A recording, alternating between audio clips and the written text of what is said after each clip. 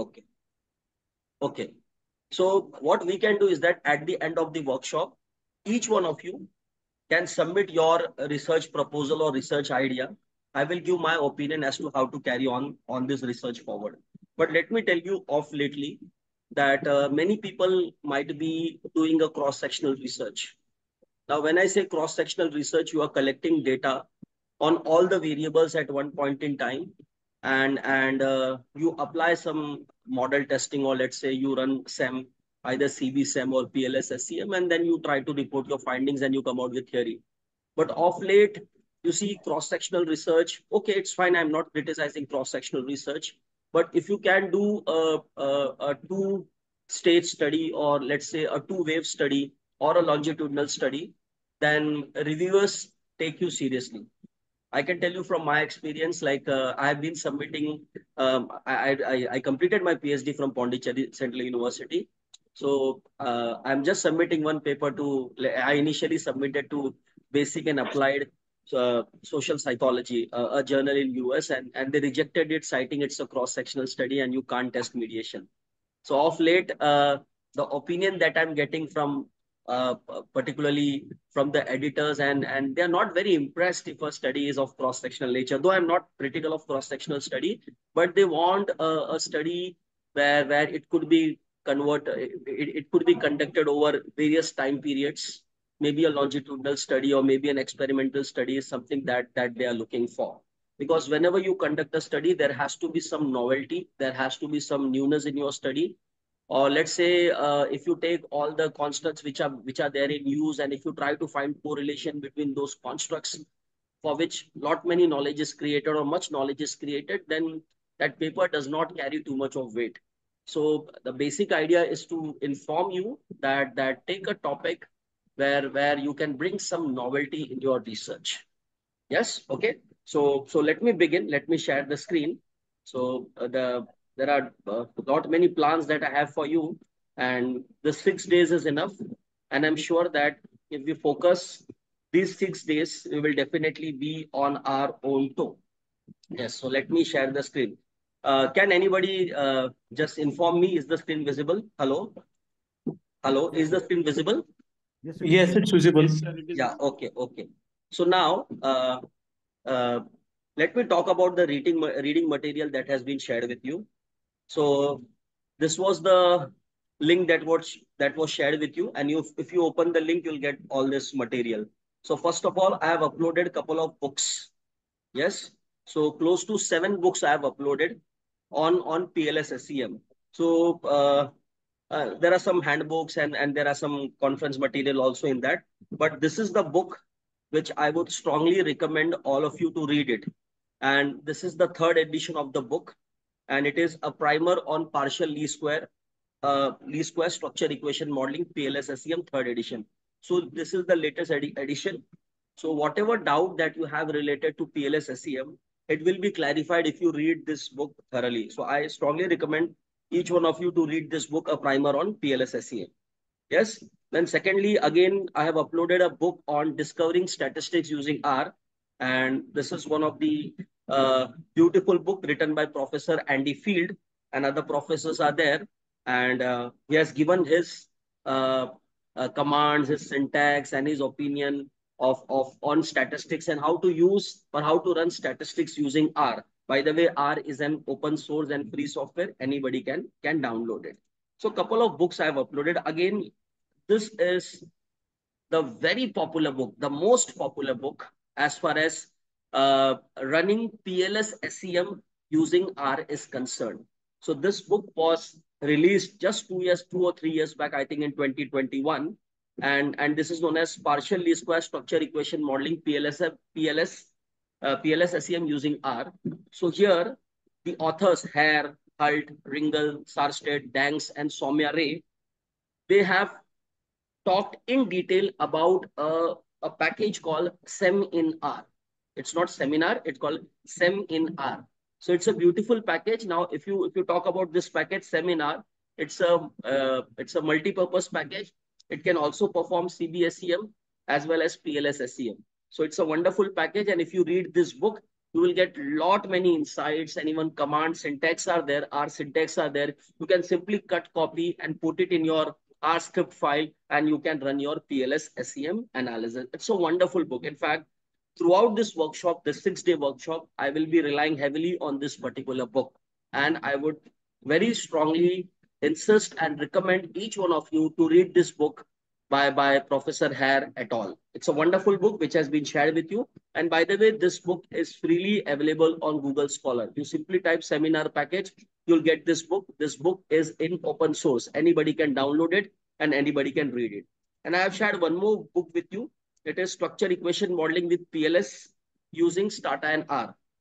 So again, uh, uh, again, this is a book which will con contain few of the syntax which you can borrow and which you can which you can read it. So a couple of books I have shared with you so that you can be on your own toe once this workshop gets over.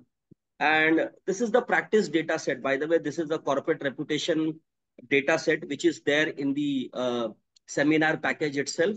So I just downloaded that data set and I've uh, given this data set to you. So we will be using this data set, not today, not tomorrow, but day after tomorrow when we are performing PLS SEM in R. Yes, okay. So again. So data set is there and I will be uploading few more data set for you to practice. Yes, things are not over. Then this is the R syntax. Again, this is the R syntax which, which I have written it. I need to download it. I'm not going to download it right now, but you can download it in your machine. Then there are some of the reading materials that I've shared with you, which will help you to, to, to produce your analysis or write your analysis. Again, I'm going to share uh, more reading material into this particular folder, particularly journals from A category or for that matter, A star journal, where if you read those articles, it will give you a lot of insights. It will give you a lot of sense as to how to perform PLS SEM uh, when you are using it in your in your research. Yes. Okay. And this is the workshop agenda. So let me discuss in brief about the workshop agenda before I proceed. Uh, again, I very strongly recommend all of you to attend all six days workshop in total. Don't miss the workshop. Again, you will be getting the recording, but but listening to the recording, uh, I think it will be very tedious and very taxing. It's always better to flow with the flow and uh, talk to the resource person, whatever doubts, whatever queries you have. And again, I would be very happy that if my session is more of a dialogue and not of a monologue. I would be very happy to address your queries and concerns. Uh, let me tell you that that uh, I have developed some best of friendship by conducting such kind of workshops. There are people who are still connected to me. By the way, one of my friend Kiran, she is there in KJ Somaiya. She is still connected to me. Uh, Felix is there. He's still connected to me. So there are a couple of people who, who have been connected to me through all the workshops which I've been conducting. So uh, this is a this is a win-win workshop, and we and I try to develop a long-term relationship with people and ultimately uh, we, we all should benefit and, and overall the research community should, should benefit. Essentially, that is, is the idea. So let me quickly navigate you to the workshop agenda as to what we will be covering in this six days workshop.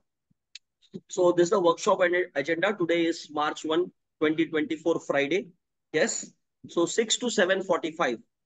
It means 1 hour 45 minutes we are going to spoke, uh, uh, discuss about structure equation modeling, about CBSEM, PLS SEM, and what are the considerations for using PLS SEM. But before that, I will also teach you what are the background for using any any kind of SEM that, that you are using, either CBSEM or PLS SEM, what is the background.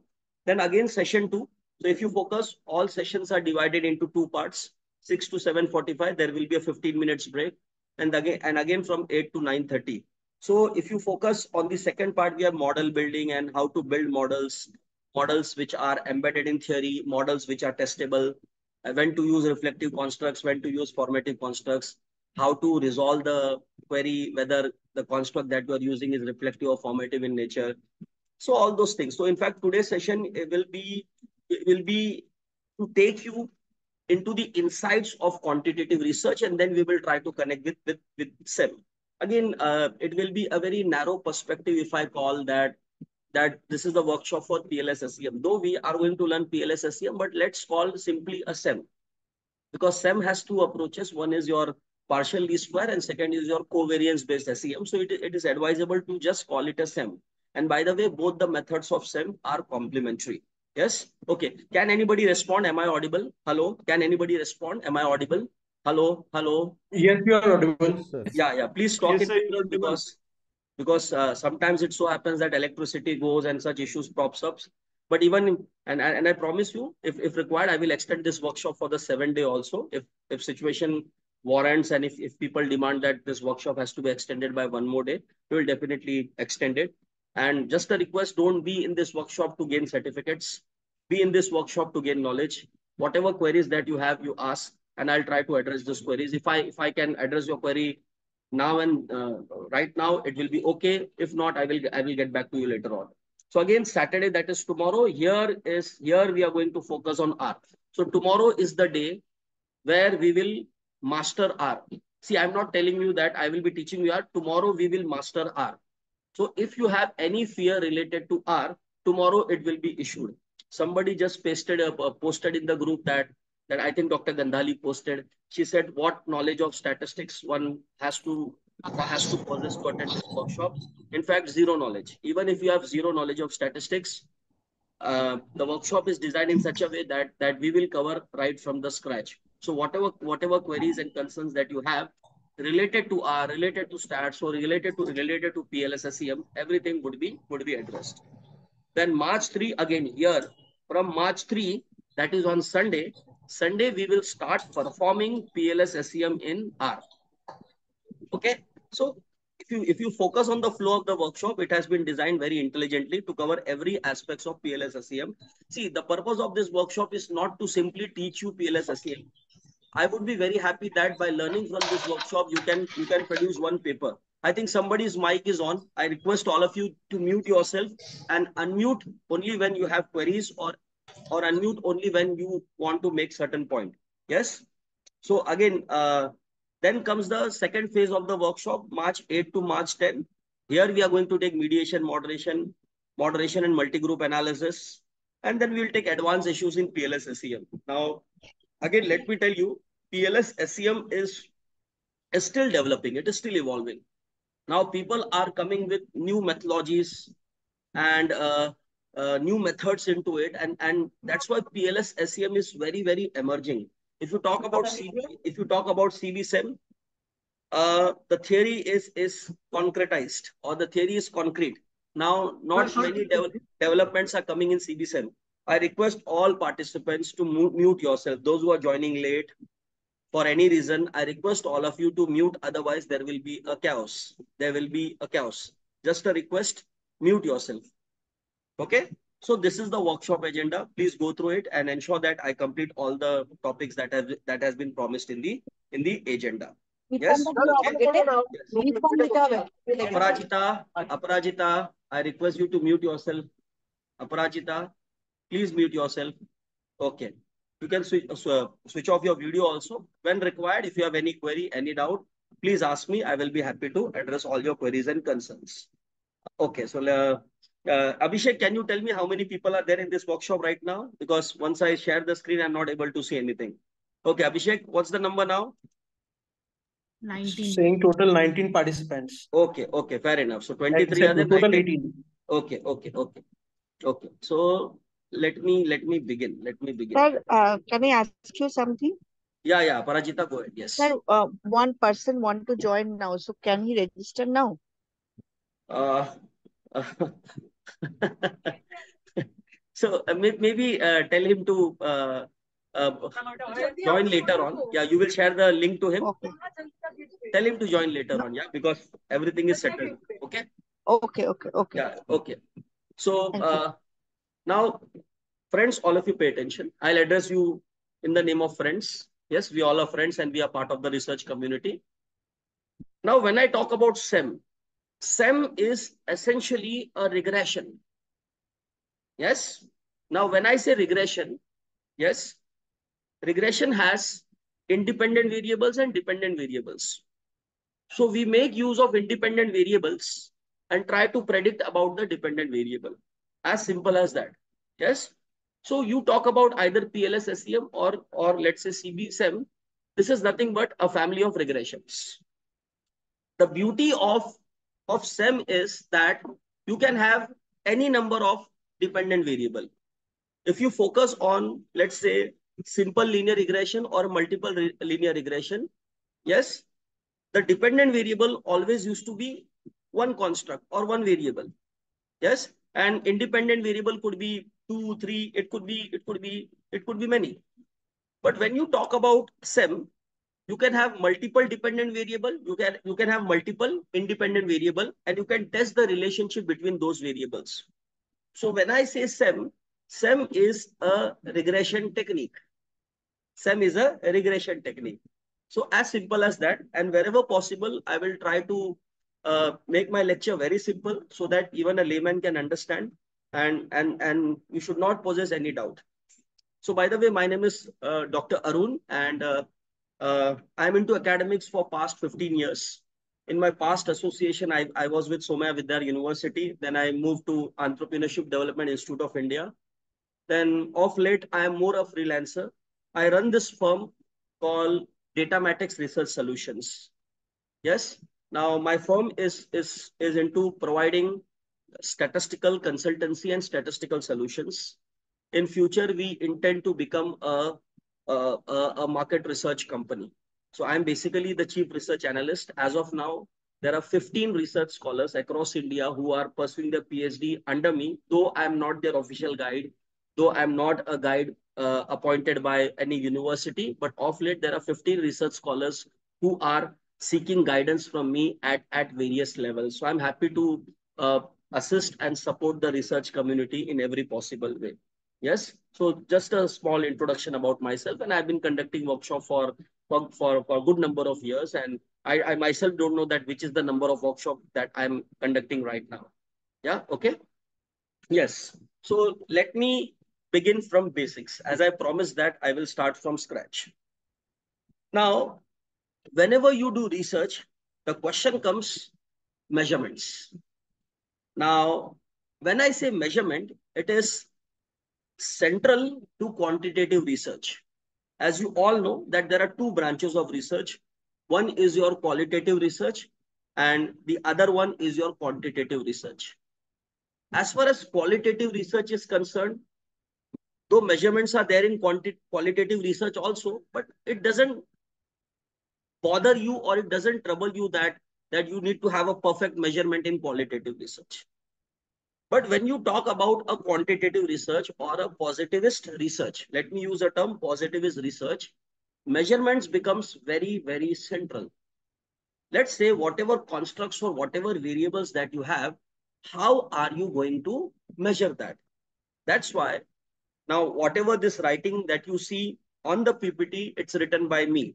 Most of the uh, are, are based on my experience. So when I say measurement, it is central to research, particularly in quantitative research.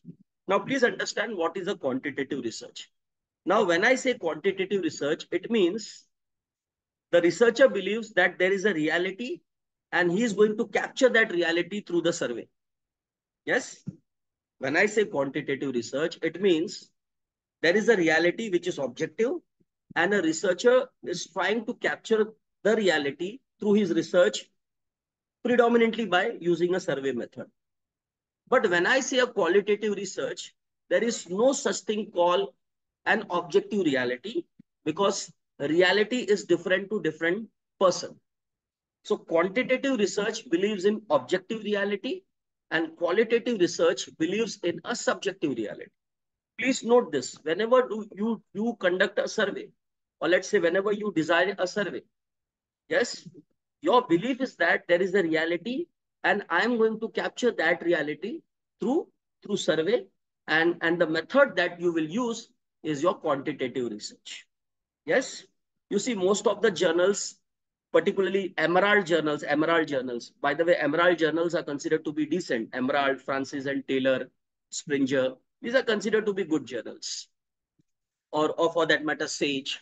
Now, if you read, uh, if you, let's say you're, you're, you're reading any A category or a B category journal in Emerald, there people write, this is a quantitative study or the approach is quantitative in nature. So whenever a researcher says the approach is quantitative, he believes that there is one reality and it, he is trying to capture that reality through numbers. Second, now as I said, measurement is important in quantitative research. Now, whenever you are measuring something, you need to focus on two important things. One is your validity and second is your reliability. Please note this. Whenever you are measuring something, you need to focus on two things. One is your validity and second is your reliability. Now, when I say validity, it means how accurately you are measuring a particular variable or constructs. Now, when I say validity, it means how accurately you are measuring a particular construct. Let's say if you want to measure intelligence. Now, intelligence cannot be measured with the length of the hair. Yes. If you want to measure how intelligent a person is, it can't be measured with the length of a hair. Let's say you measure you measure somebody's length of the hair and you found that the person is intelligent. Now, this is an erroneous measurement. Now, in order to measure the IQ level of a person, you need to really ask right set of questions to the person and then calculate what score is he, is he getting. Yes. So when I say validity, it means how accurately you are measuring a particular phenomena, which could be a variable or which could be a construct. Now, when I say reliability, reliability means when you are measuring a phenomena over, over the period of time, every time it should give you a similar results. Now to explain reliability, I will give you I will give you an example of weighing machine. Let's say we all measure our weights. So let's say if you stand on a weighing machine, on first day the weighing machine shows 60 kg. On second day it shows 70 kg. On third day it shows 40 kg. Now you will say this weighing machine is not reliable. Reliability means every time the instrument should give you similar results. So whenever you design a measurement in your research or whenever you design your survey, you need to ensure that your measures are valid and your measures are reliable. So these two things are very, very important. Now, whenever you perform SEM, in SEM, there is a technique to check the validity of the constructs and to check the reliability of your measures. We'll discuss this when we are seeing PLS SEM or when we are running cell. Hope this much is clear. Any query you have, we can, we can definitely take it. So whenever you are using measurements, eh, validity and reliability is of utmost important and validity and reliability is taken care by SEM. Please bear this in mind. Yes. Next. Now, when you talk about measurements in pure science, particularly, let's say physics or let's say mathematics, their picture is pretty, pretty sorted. Yes. Now, let's say if you want to measure height, you can measure somebody's height by, by, by some measuring instrument. Let's say if you want to measure a person's weight, it could be measured. Let's say you want to measure the speed, and, and we all know that the formula of speed is uh, distance covered divided by time. And let's say if you want to measure the distance between two astronom astronomical bodies, or let's say two celestial bodies, the distance is measured in light year. Yes, particularly astronomical distances. So as far as mathematics is concerned, or for that matter, physics is concerned, the picture is pretty sorted. There are devices available, there are instruments available, there are techniques available, there are formulas available which can calculate the measurement. Yes. But when you talk about measurements in social sciences, things are very, very hazy. See, what, what is going in a person's head, there is no measuring device available. Yes. There is no measuring device available which can which can be kept on your head and, and exactly what you feel and exactly what you think can be captured. That's why uh, measurements in social sciences, let's say marketing, or let's say finance, or let's say HR, OB, psychology, yes, economics, is something very, very difficult to difficult to measure. Yes, and that's why see, initially I started the discussion saying cross-sectional research. When I say cross-sectional research, you try to collect data at one particular point in time. See, today you are satisfied with the job. Tomorrow it can so happen that you are not satisfied with the job. So let's say uh, uh, I, I, took a cross-sectional data and I, I and I theorized something that job satisfaction is because of this this antecedents. Then that finding will not be valid for for for for future, or or rather to put it in a very technical way, that model will lack predictive power. And that model is considered to be a decent model which has a predictive power.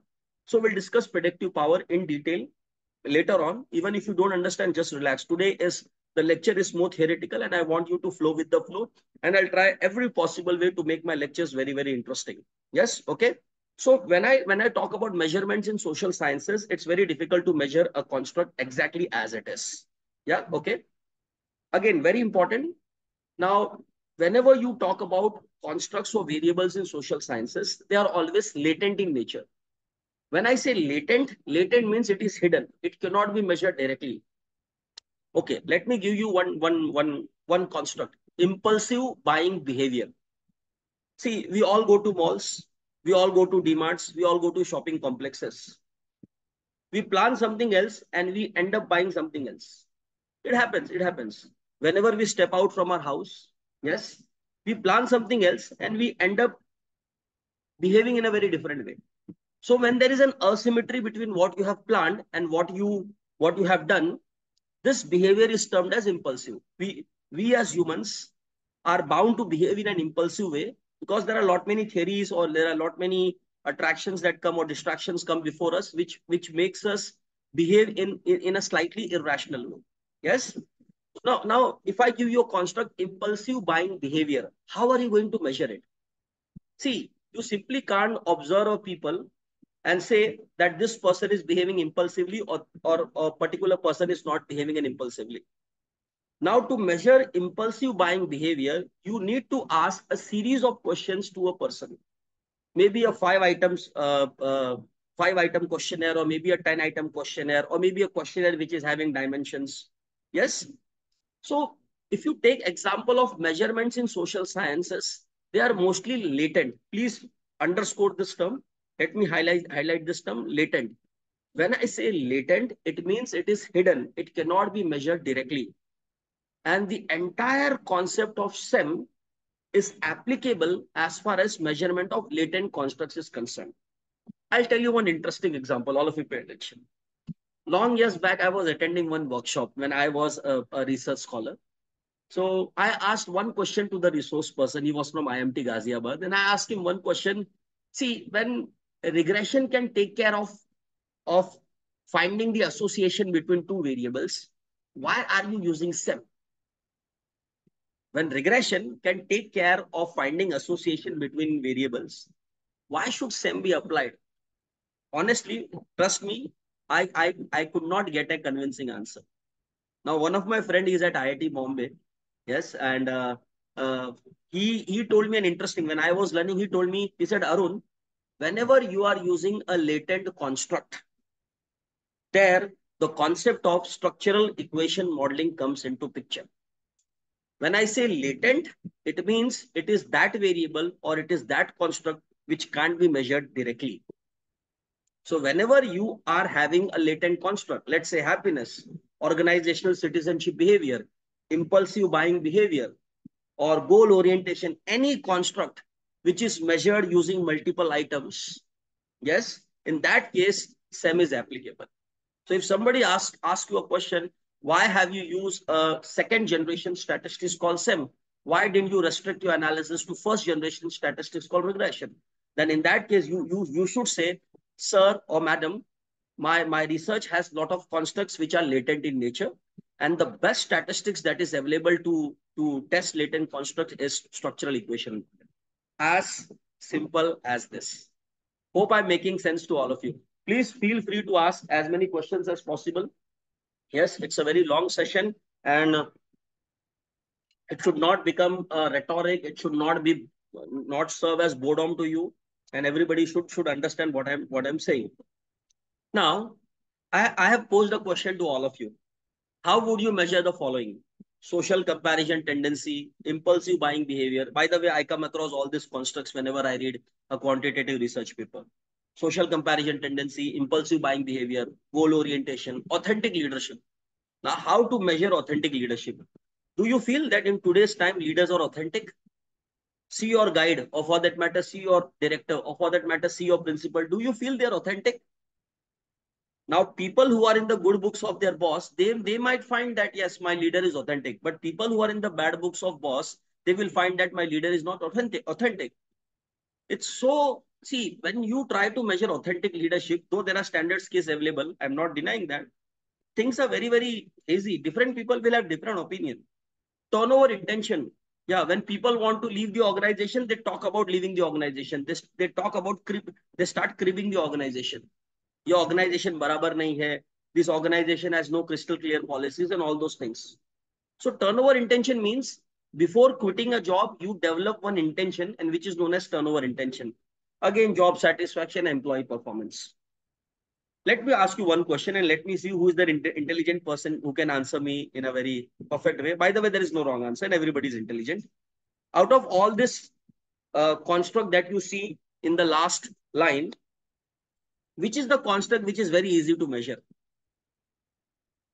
Social comparison tendency, impulsive buying behavior, goal orientation, authentic leadership, turnover intention, job satisfaction, employee performance. Which construct do you find it's very easy to measure out of all the constructs? Yes, Tushar. Yeah. Let, let, let's, Felix has raised his hand. Felix, go ahead, please. Sir, employee, yeah, Felix. Pardon? Employee performance. Very good, Felix. Bang on target.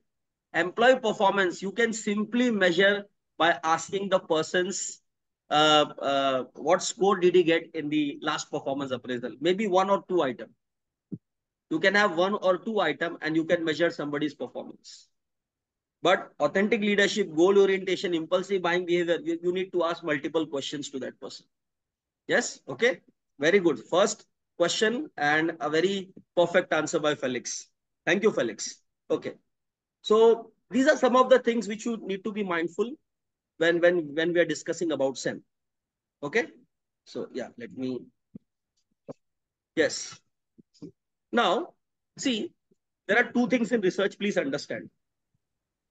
One is your define one is defining your construct, and second is operationalizing your construct. Now, see, now when people develop a scale, or let's say when they are developing a measure, in that case, first people have to define the constructs that they have used in their study. Let's say you are working on goal orientation. Let's say you're, yes, I request you to, uh, Sanjeev, please mute, your, mute yourself. Sanjeev, sorry, Ranjit. Ranjit, mute yourself. Master Hello, Ranjit. So that's the difficulty in online that Ranjit, could you, can you please mute yourself? Okay. So now let's say uh, you are working on a research topic Let's say goal orientation. Let's say the topic is the effect of goal orientation on life satisfaction. So let's say if you're, if you're, if you're working on, the, on, on this topic, the effect of goal orientation on life satisfaction, here there are two constructs. One is your goal orientation and second is your life satisfaction.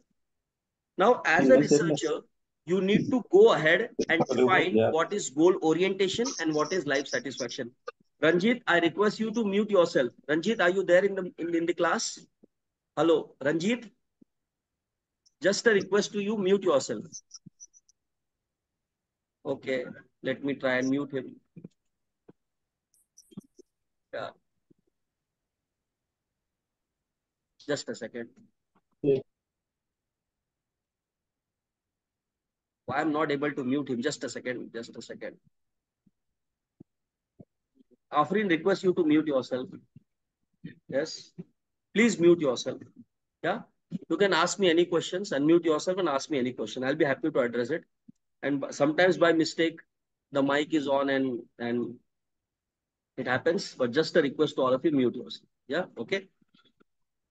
See, whenever you do research, it is important that first you need to define your construct and second you need to operationalize your constructs. Now, see, if, if you are developing a new construct, it is you who is going to provide the academic definition of that particular construct. I'll give an example. Somewhere in 2003 and 4, uh, a new construct came in the field of organizational behavior. And the name of the construct is psychological capital. Before 2003, there was no such construct called psychological capital. It was Luthans and, and his associates. They, they, they coined a new construct and they named it as psychological capital. So if you are if you are coming out with a new construct, which rarely happens in most of the uh, universities or business schools, most of us we take a construct which has been developed in the West, it has been operationalized in the West, and we use it in Indian context.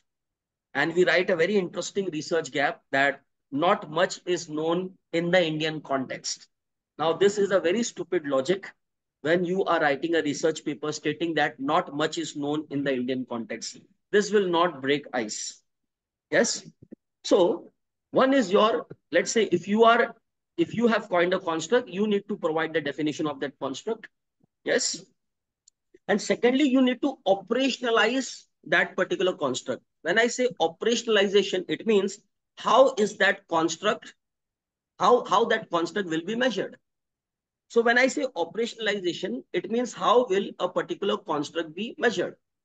So when Luthans came out with psychological capital construct, he defined psychological capital and he gave a 24 item scale. He gave a 24 item scale in order to measure psychological capital.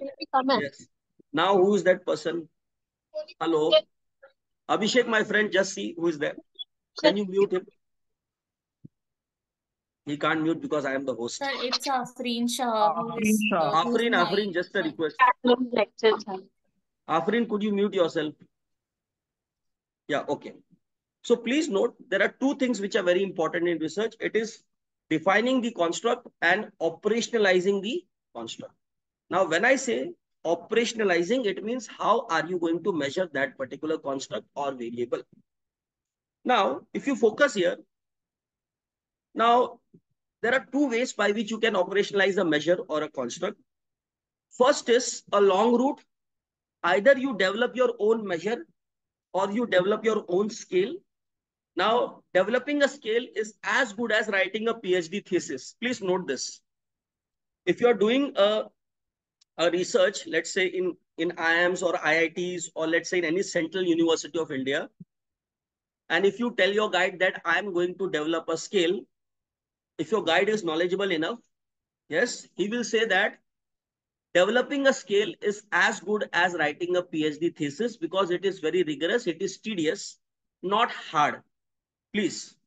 And, and, and, and in this class, there are around 17 to 18 research scholars. My humble request to you that if your topic is not finalized, you can think of developing a scale in Indian context so that you can measure some of the phenomena.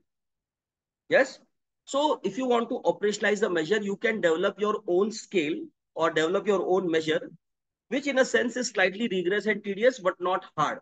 There are books available, there are techniques available, there are YouTube videos available, there are courses available. You can undergo there, undergo it, and you can develop your own measure. By the way, one of my professor, I have learned a lot from him, Professor Vishal Gupta. He's at IIM Ahmedabad. His PhD thesis is on developing a scale to measure leadership. By the way, Professor Vishal Gupta has done an interesting job as far as leadership is concerned. So he has developed a scale to measure leadership. Yes. So you can develop a scale. If you are not developing a scale, you can use established measures. Now, whatever construct that I showed you on, on the previous slide, impulsive buying tendency, goal orientation, authentic leadership, there are standard scales available.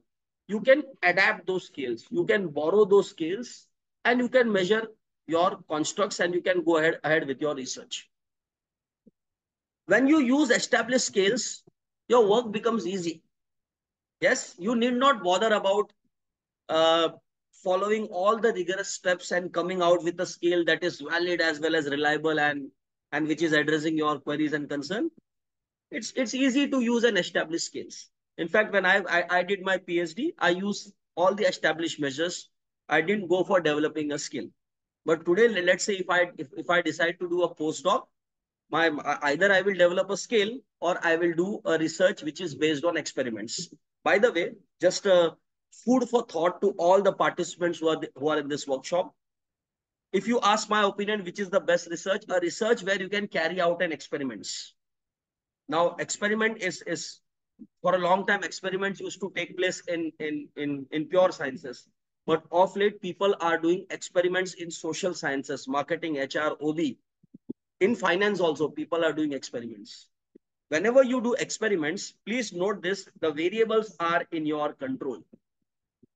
And it is far more rigorous to, to, uh, to, to design an experiment and come out with, with your analysis and, and, and report your finding. So if today, if I happen to do my postdoc, either it will be a skill development or conducting an experiment in social sciences. Yes, okay. So I'm planning to conduct one research workshop in the month of May, not with Datamatrix, but with, with, some other forum. I'll conduct one workshop on how to carry on or how to carry and conduct experiments, particularly in social sciences. So uh, yeah, either you develop a scale or you use established measures which are there in the there in the literature. Yes, okay. Let's go ahead. Okay.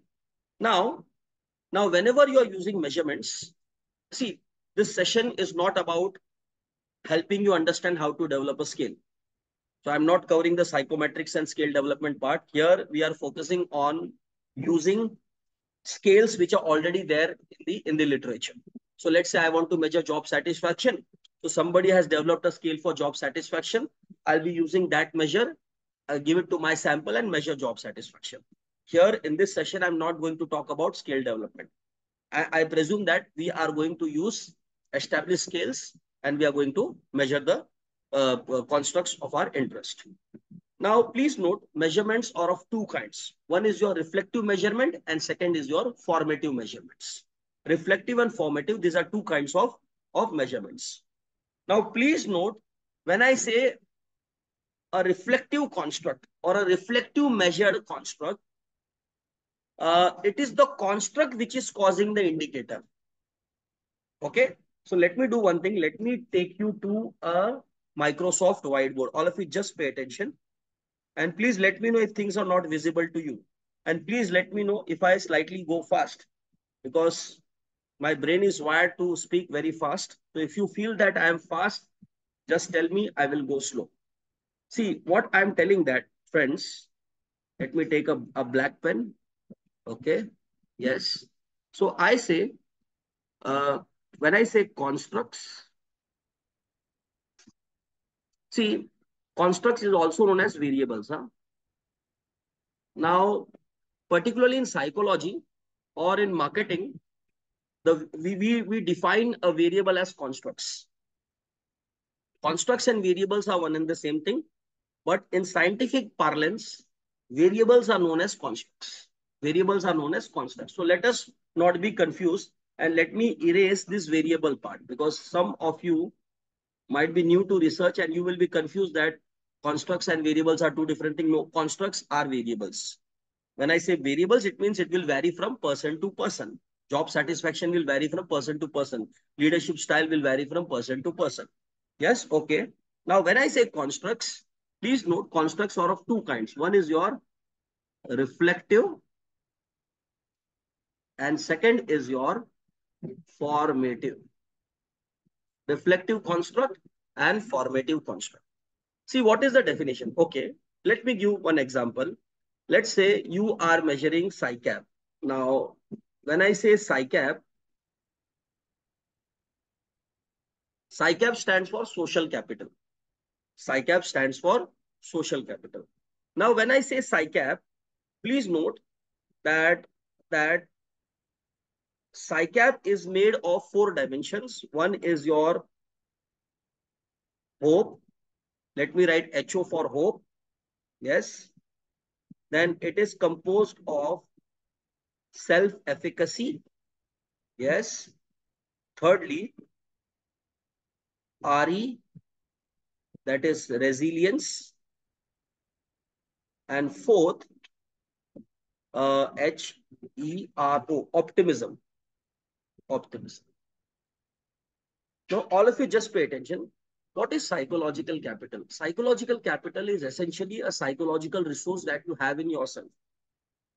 You see, some people are very hopeful about life. When I say self-efficacy, self-efficacy is a belief that you can do it. I remember I, I, I conducted my first workshop on R in February 2020 and uh, you, you will not believe at that time I was not very well versed in statistics. But I could handle a crowd and most of them were statistician for two days. because I had a belief that yes, I can do it. So self-efficacy, it is a belief that you can do it. Resilience. Resilience means your ability to bounce back from a catastrophe. To put it very simply, let's say somebody has left you or somebody some uh, या आपके life आपके life के साथ कुछ पूछ नीच हो गया है do you have the ability to bounce back? Or you become kabir singh? That should not have happened. Kabir singh could not bounce back when the girl left him. Resilience means your ability to bounce back after a catastrophe. Some people have a tremendous uh, resilience within themselves. And some people are like what you call a scandal. They melt very quickly.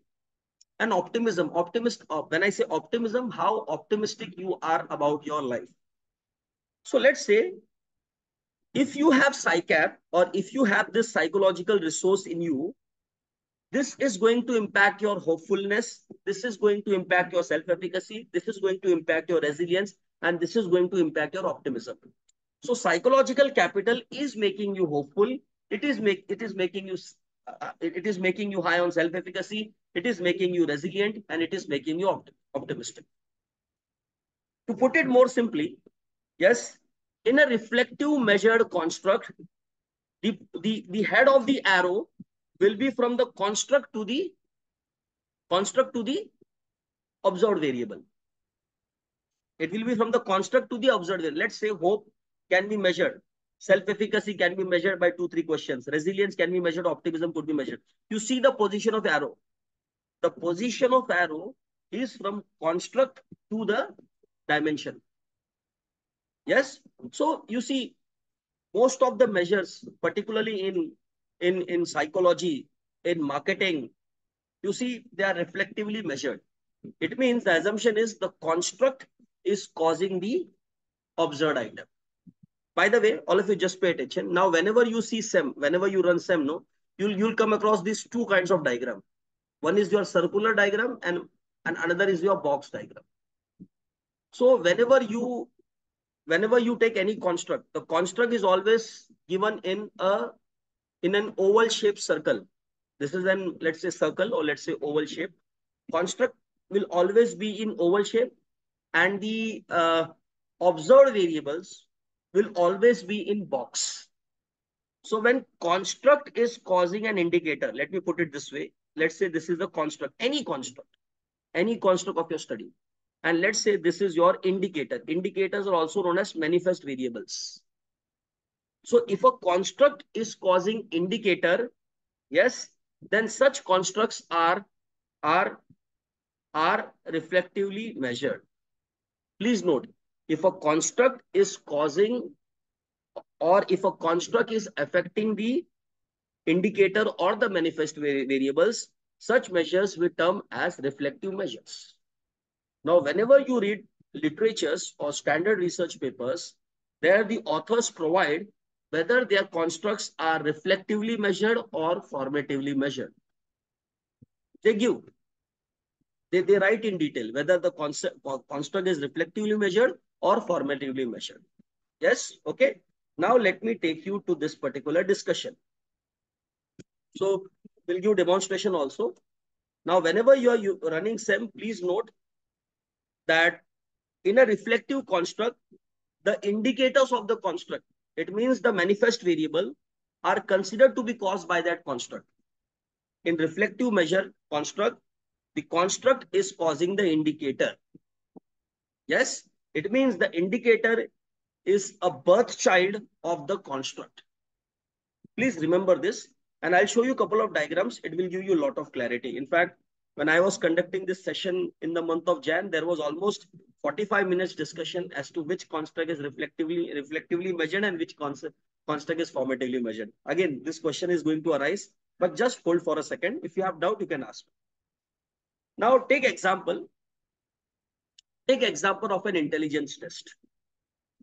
See, you see, there are certain students, they are very bright and if you see their marks, they always come out in flying colors. Let's say above 90%. You see some people 10 standard 95%, 12 standard 96%.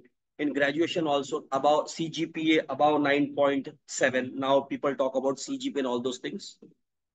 So see, intelligent, see, marks, see, you are intelligent, that's why you're scoring more marks.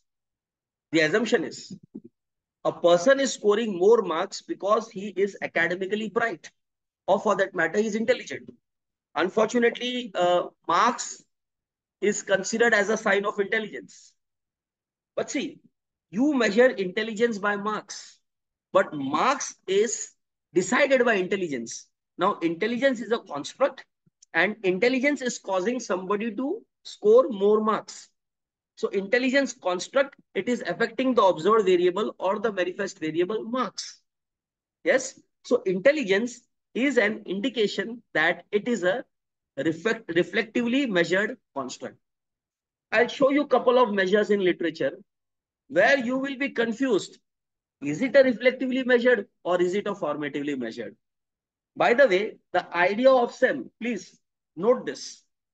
The idea of SEM, it is applicable to reflectively measured construct. You calculate reliability, you calculate validity. The reliability and validity is always of reflectively measured construct. Please note this.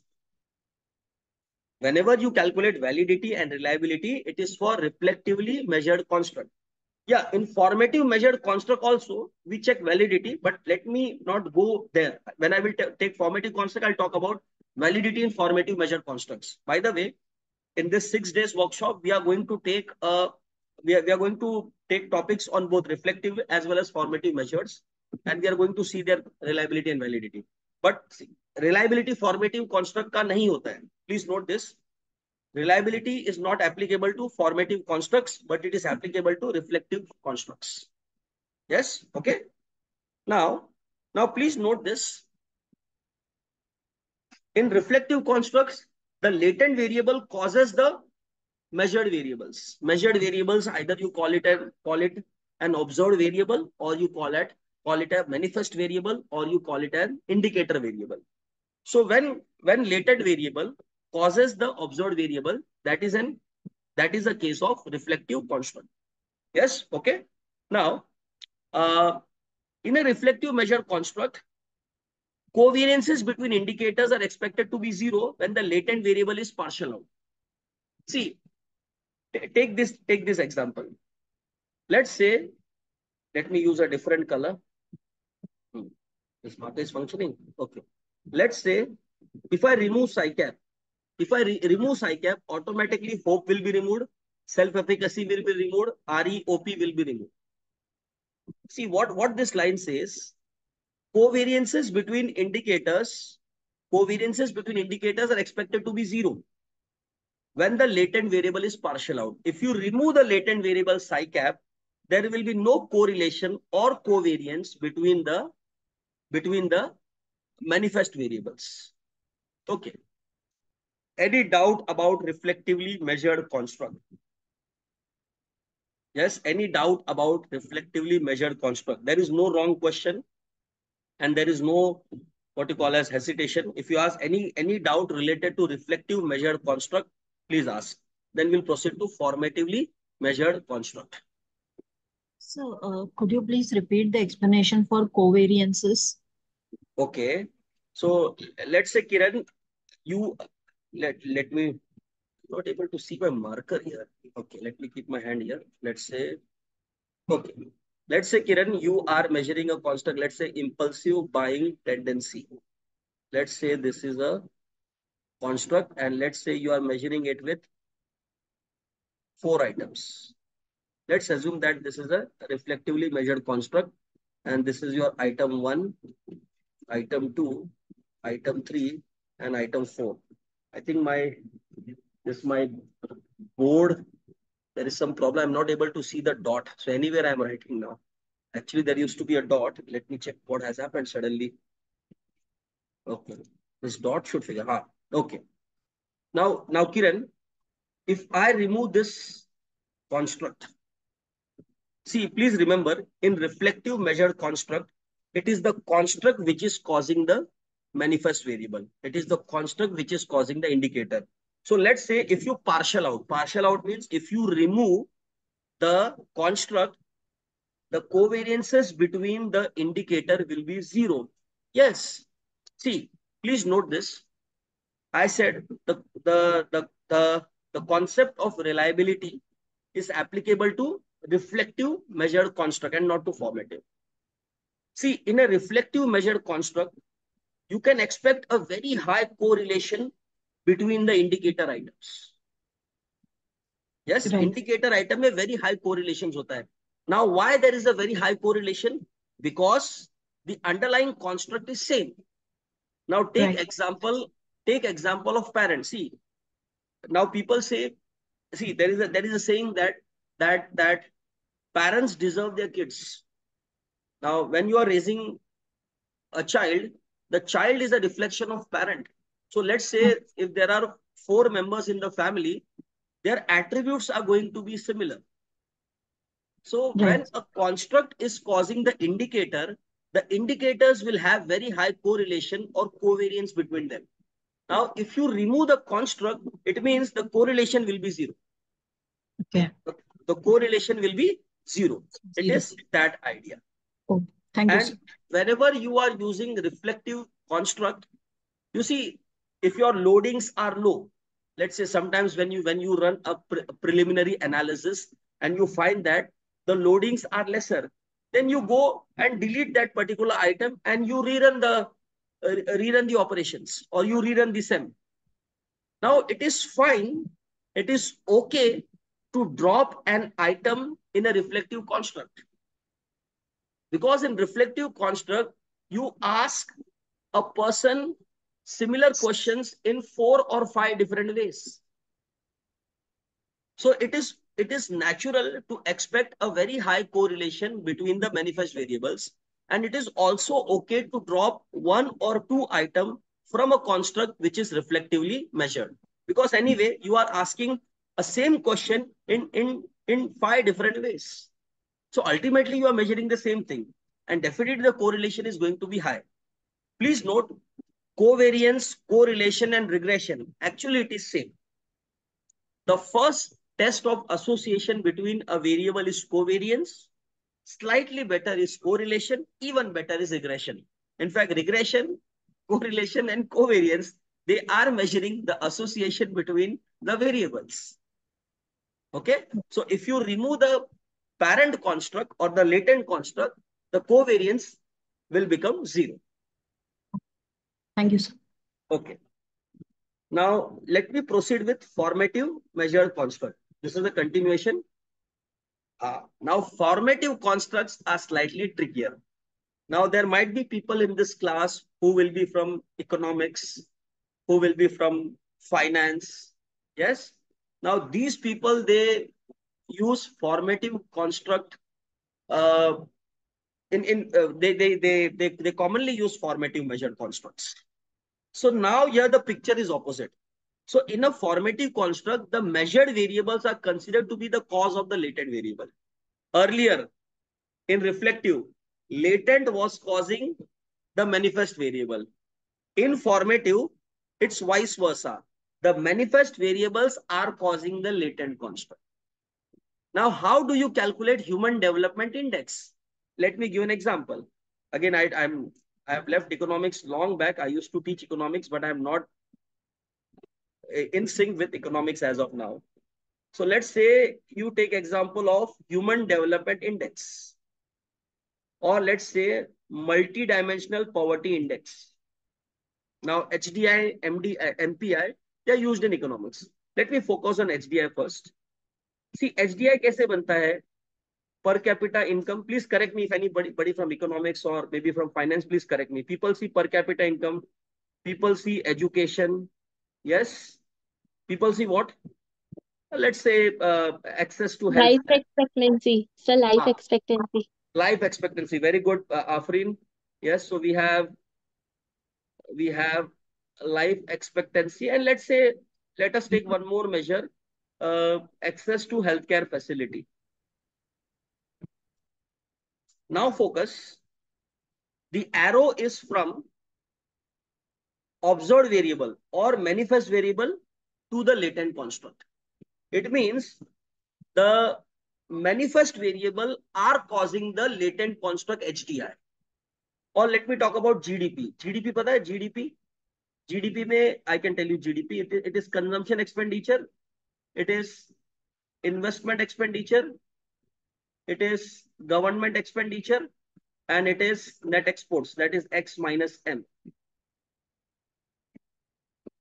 So when see when your manifest variables they cause your latent construct, then such constructs are considered to be formative constructs.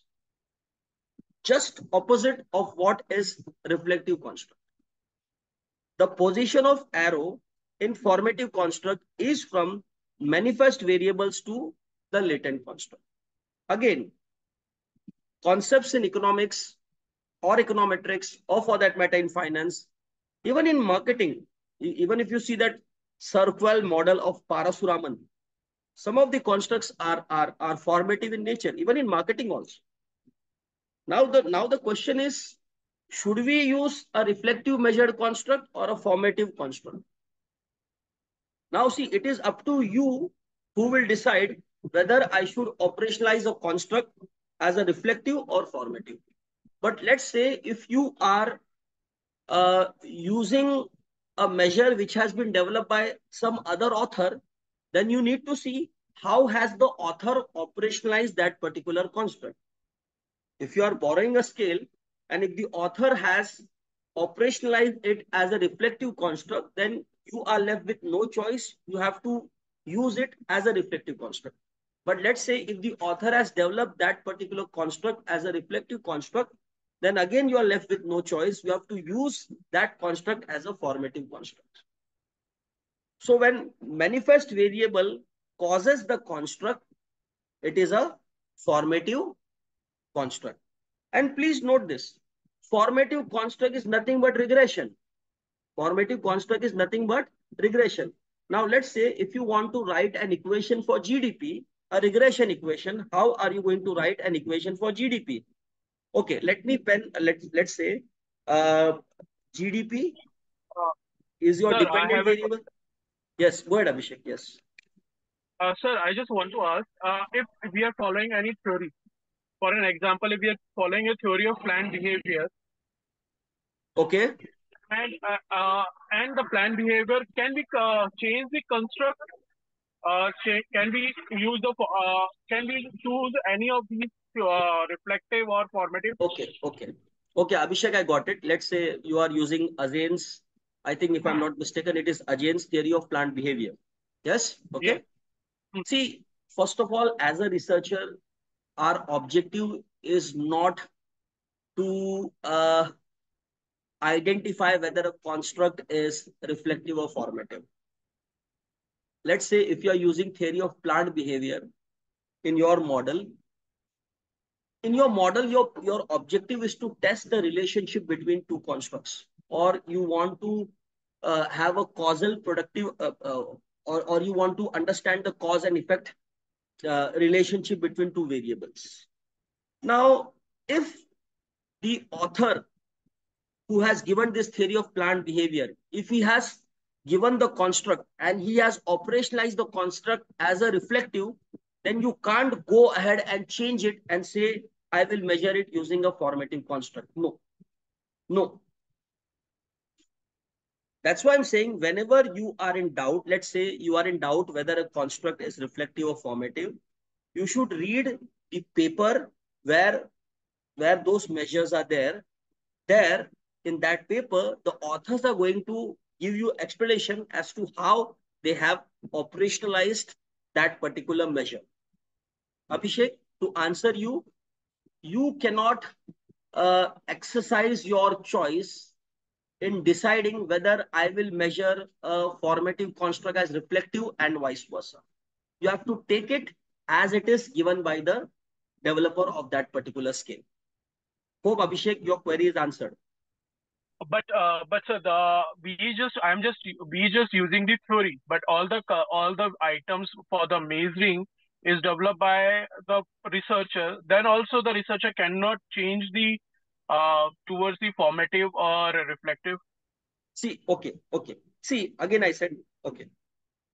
See, first of all, no, if you are using a reflective construct, as I said that it is fine to drop some items in a reflective measured construct.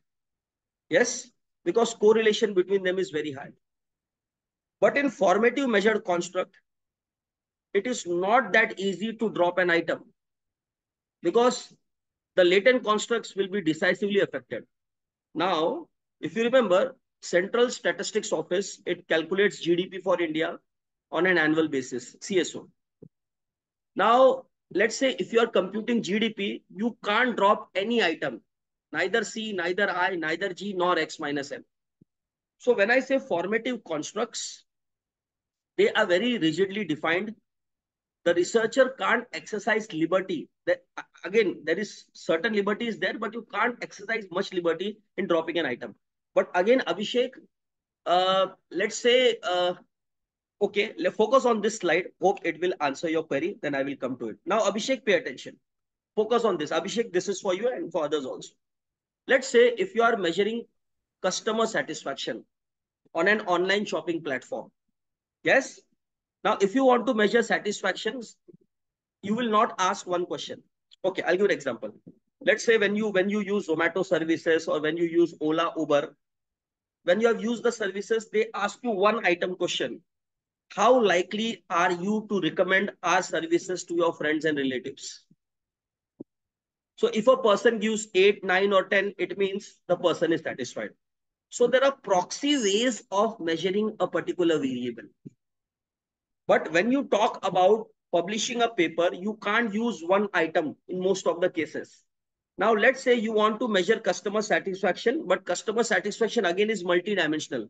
Now you go and theorize, Abhishek, Abhishek, you are going ahead and theorizing that I will measure customer satisfaction using delivery time, in how much time the product was delivered at your doorstep, how was the product quality, how was the customer service, and how was the website usability, whether the website was usable or not.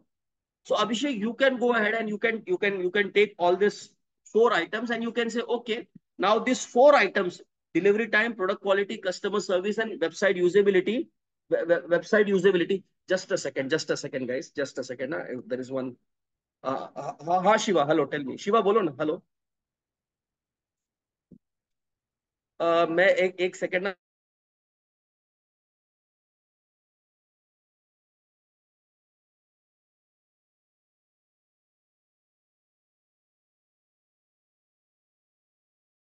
Guys, just give me a second. Some physiotherapist is going to come to treat my family members. Just a second. Just Abhishek.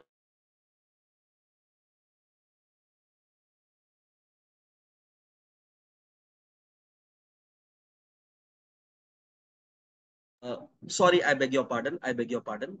Please excuse me. Now, now please pay attention. As a researcher, definitely we have a liberty to a certain extent that how are we going to measure a particular construct. Now, let's say if, if Abhishek wants to measure customer satisfaction on an online shopping platform and he identifies this four, four, four dimension and he says that these four dimensions will cause a customer to be satisfied. If a person rates high on all the four dimensions, then the customer is going to be satisfied. Now again, take example of this workshop. Now I'm conducting this workshop. At the end, I will be circulating a feedback form. Now feedback form always has to be multidimensional. Let's say you might be happy with the resource person, but you might not be happy with the, let's say, reading material. Or let's say you will be happy with the timing, but let's say you will be unhappiness, you will be unhappy with some other dimensions. So sometimes the researcher is intending to understand the uh, multi-dimensionality of a particular construct. Fine enough. Then in that case, he can go ahead and he can operationalize the measure as a formatively measured construct. But let's say if a construct is already defined as a reflective measure, you can't go ahead and make it a formative. There actually reservation exists, Abhishek. Abhishek, hope I have addressed your query. The floor is open. You can ask as many doubts as possible. Okay. Hope your query is resolved. Yeah, somewhat. Hope your query is addressed. I was able to address your query. Now, Abhishek. Yeah, uh, it, ha, ha, go ahead. It, go ahead. it solved, but uh, my still thing is that uh, like I am I'm taking that uh, theory and I'm extending that theory with my research. Okay. So I'm just confused that whether I will go with the reflect or I go with the Okay. formulate. Okay. Let me answer it. Let's say uh, Abhishek is extending theory of planned behavior. He is bringing one new variable. Now, Abhishek, you need to ask that question. Just focus on the items of those variables. Do you think the items of those, let's say, again, again, I, I think Abhishek is still conceptualizing his theory. Now, let's say if you bring a new variable into your model, yes, just see the items. Are the items unique in themselves? Are the items unique? If the items are unique, it's fine. Then it is a formative construct. But if items are repetitive in nature, one question you are asking in five different ways, then it's better to operationalize it as a reflective measure. In formative measure, please note, every item is unique. Now focus on customer satisfaction, customer satisfaction, delivery time, product quality, customer service, website usability. These are all dimensions. They will have observed variables in them. And I am presuming that customers now, now please pay attention. When the items are unique, it is better to operationalize as a formative construct. When items are repetitive, it is better to operationalize as a reflective construct. But if you operationalize a construct as a formative, then you need to come out with a strong logic and there you will have very less liberty to drop a particular item. In reflective measure construct, it is easy to drop one or two item if the loadings are less. But in formative, you have less liberty of dropping the item. But Abhishek, no harm. See the items, see the manifest variables. If you find the manifest variables are unique, they are different, nothing wrong in operationalizing that particular construct as a formative construct.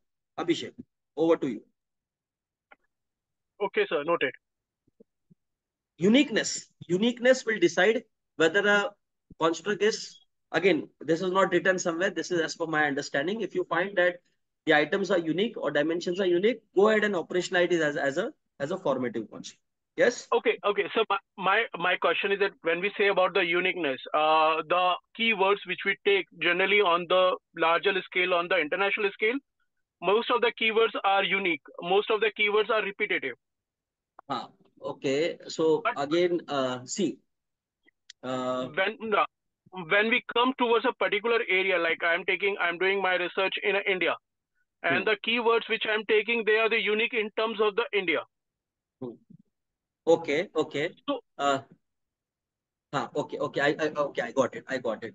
See, uh, irrespective of whether you do research in India or abroad, again, I'm saying, see the items. See the items which are used to measure that particular constructs. See, again, uh, I'll tell you, Abhishek, uh, uniqueness, according to me, is the best test to decide whether a construct is reflective or formative. But again, Abhishek, I'll take you to one, one this to address you in a very foolproof manner. Let me take you to this particular book, and uh, here you will get get get some idea, get some idea, and I will give you a final word also how to take the construct whether reflective or formative. Here you can see evaluation of formatively measured construct. Now, Abhishek and others, Abhishek has asked a very pertinent question and it's a very burning question. Abhishek, focus on these questions. How is quality measured? See, quality. The product services offered by the company are of high quality. And you are asking it on a Likert response. Just a second, just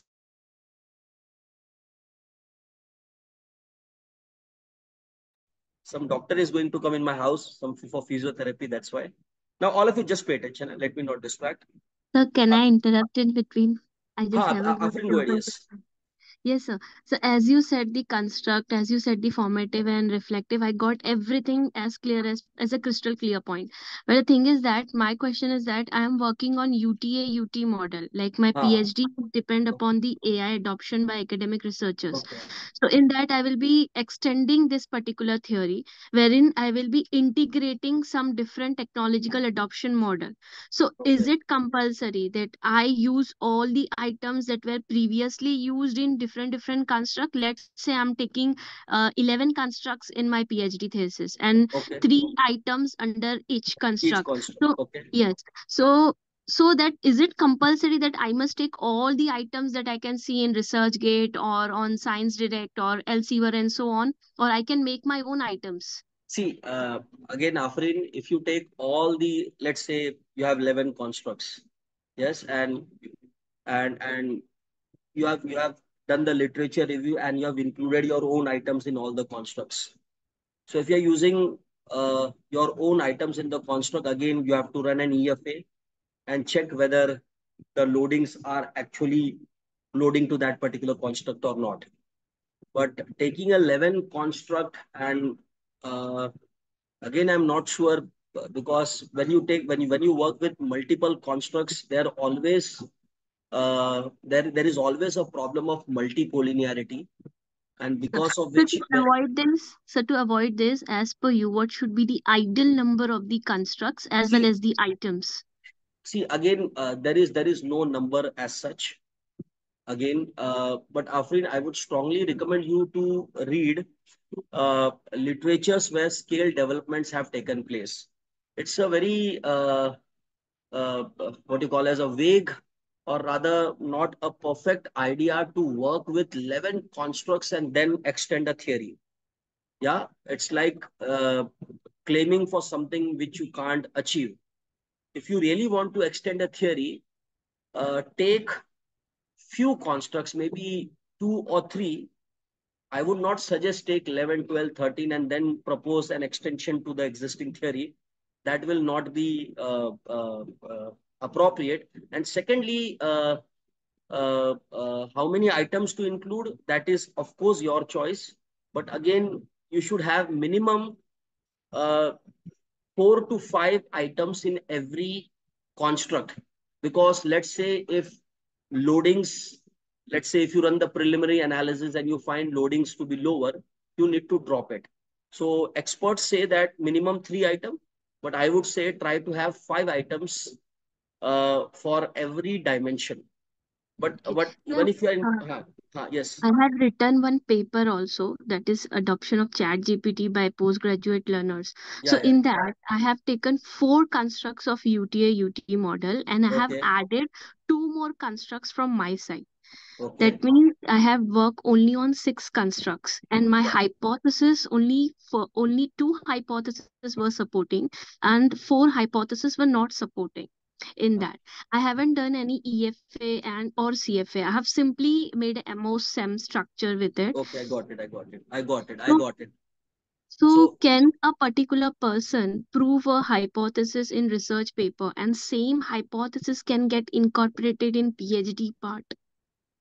See, you can incorporate as many hypotheses as you want. But the question is, when you have multiple constructs and you run a regression or for that matter SEM, your most of the hypotheses are going to fall apart. Your alternative hypothesis will not be supported.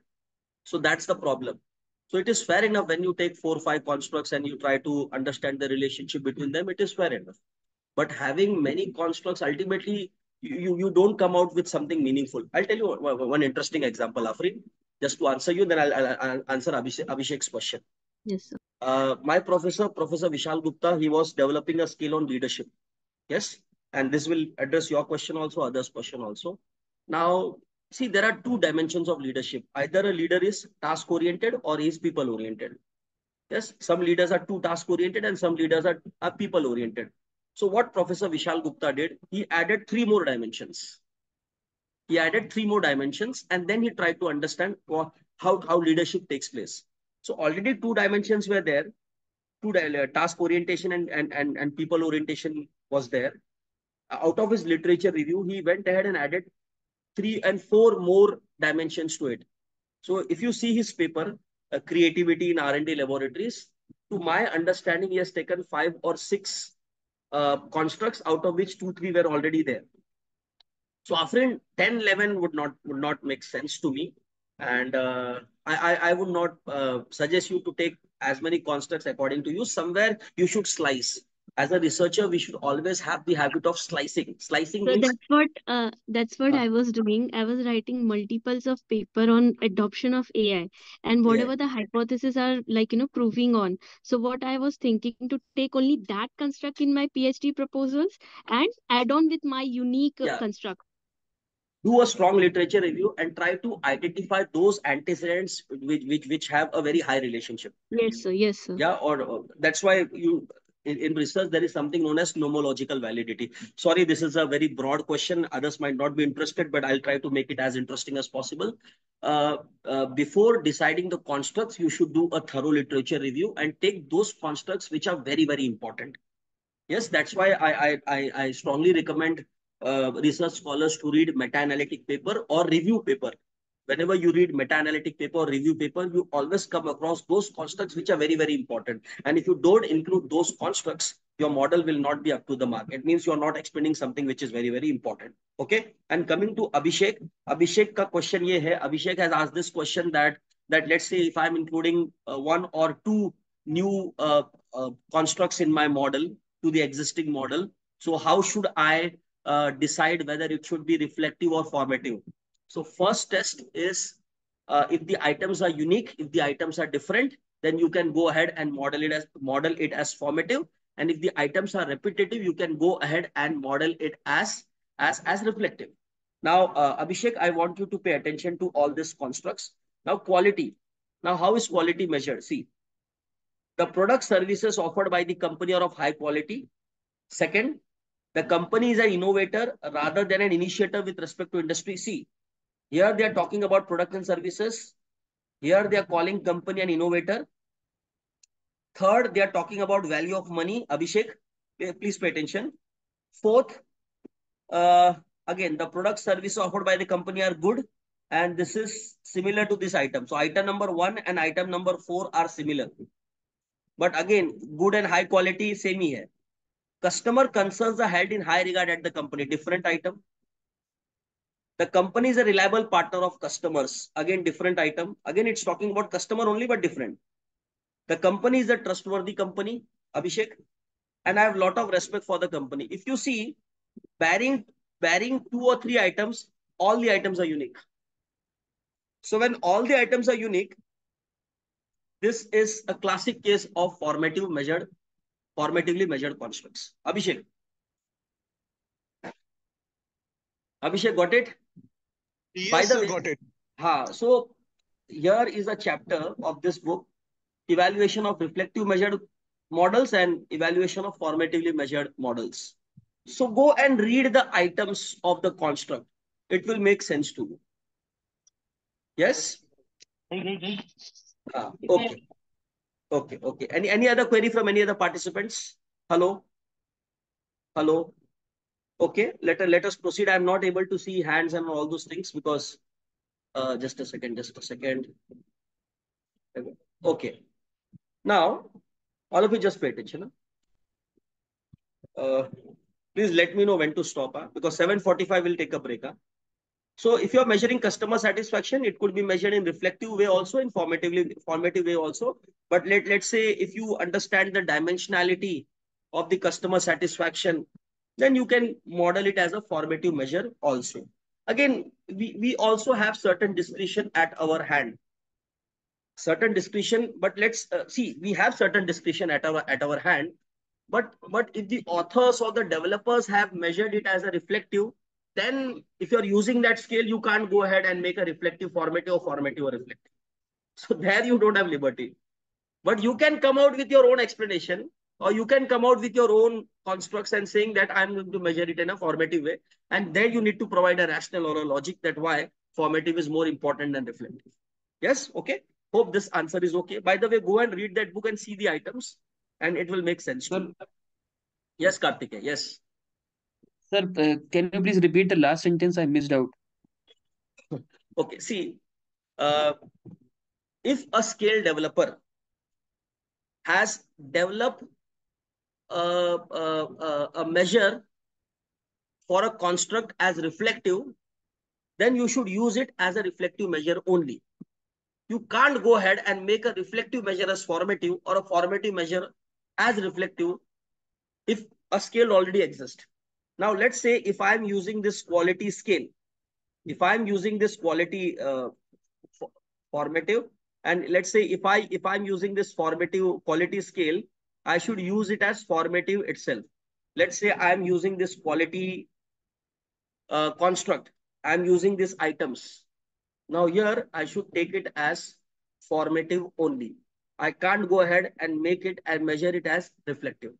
By the way, again, as far as, see, eh, by the way, in, in, in Smart PLS4, there is one application which is known as confirmatory tetrad analysis. So it's a it's a it's a test available where you can check whether a whether a construct is reflective or formative. But again, I don't recommend any test or stats. Even for that matter, I disagree with confirmatory tetrad analysis as far as taking a construct as reflective or formative. It is a researcher who has to take a call whether the construct will be reflective or formative.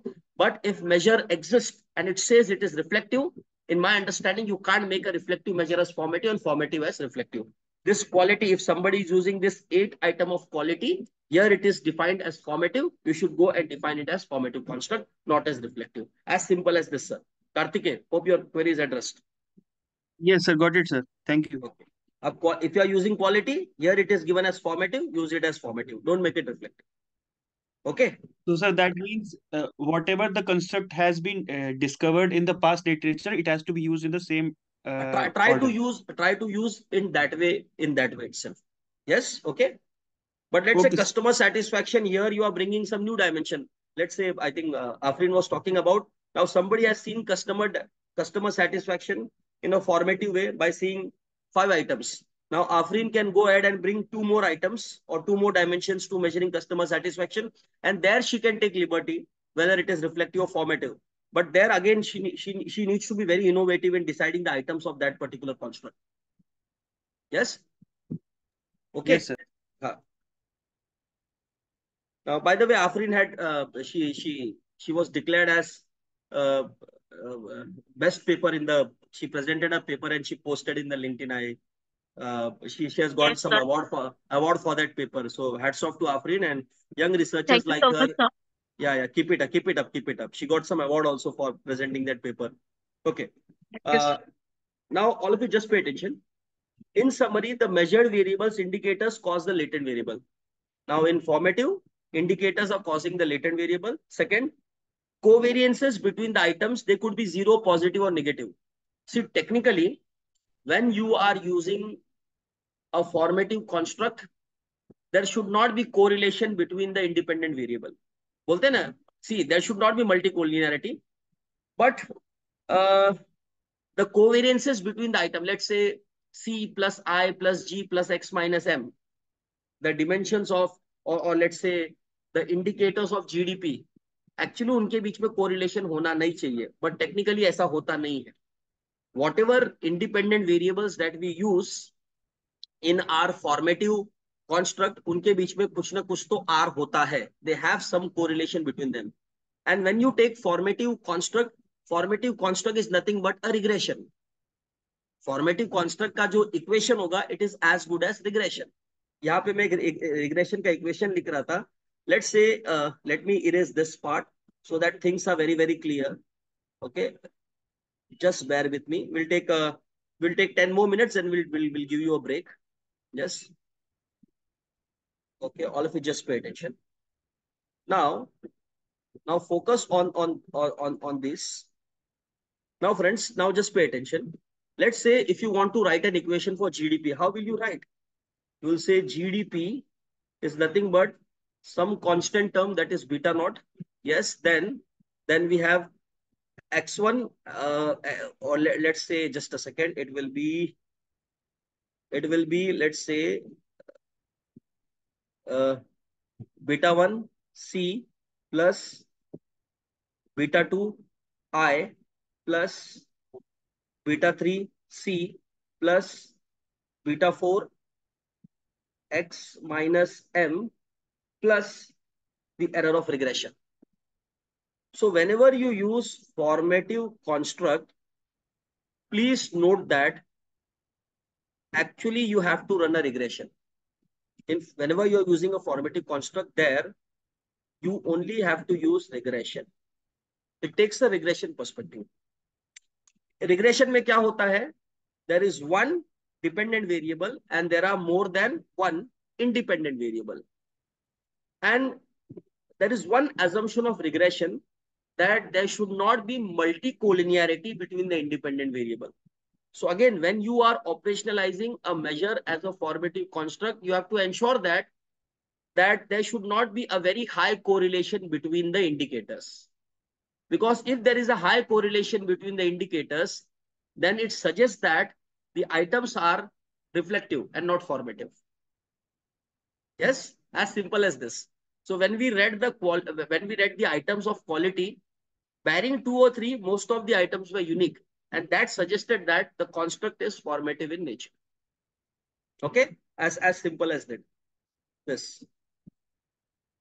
Okay, now how many? We'll, we'll take five minutes. Then, then we'll take a break. Normally in online mode, taking a lecture for, let's say, 90 minutes is it's it's very taxing for for the for the participants not for the resource person okay now see see diagrammatic visualization this will make picture very very clear to all of you now, see a reflective construct. The, the arrow is from the construct to the measure. So x1, x2, x3, x4. These are your manifest variable. These are your indicators. And these are caused by the parent construct, which is your reflective construct. And this E1, E2, E3, E4, these are the errors associated with the manifest variable or errors associated with the indicators and this is lambda 1, lambda 2, lambda 3, lambda 4. These are your loadings. These are your loadings. Now, when you take formative construct, you see x1, x2, x3, x4. So all these indicators, they are causing the construct. So in a formative construct, the indicators are causing the construct. So definitely the, the, uh, the error will be associated with the, with the latent construct. Yes. And here it is assumed, it, it, it is advisable that the correlation or the covariances between the constructs should be should be should be less should be should be less hope everyone's question related to reflective and formative is addressed whenever in doubt read the literature and see how the authors have operationalized the construct hope this much is okay shall we proceed next yes yes sir Okay, okay, okay. Don't keep any doubt. Let me see if any any chat is there. Uh, okay, okay, okay. Uh, sir, is the lecture will be recorded for future reference? By the way, Karthik, if I forget to record, you should be able to write uh, write something on your own, or maybe you should type on your laptop. But by the way, you'll get a recording. पहले का messages. Ah, okay, okay, okay, okay. So let's do one thing. We'll take a, a 15 20 minutes break. 8 o'clock we will be back on time. Yes? Okay? Will that be okay with all of you? Yes sir. yes okay? sir. Let's take a 20 minutes break so that have some water have some tea so that you don't experience too much of boredom and you don't fatigue. You don't get fatigued. Okay? Chalo. Let's meet at 8 o'clock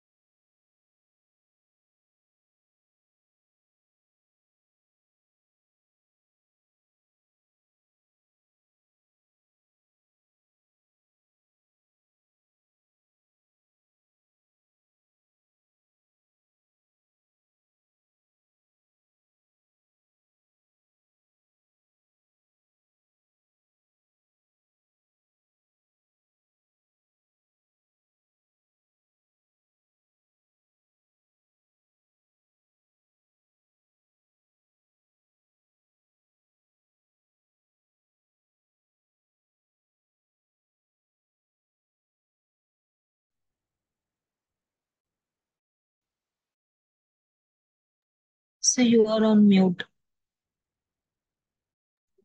Uh, I was saying that, uh, thank you, Kiran, for reminding me.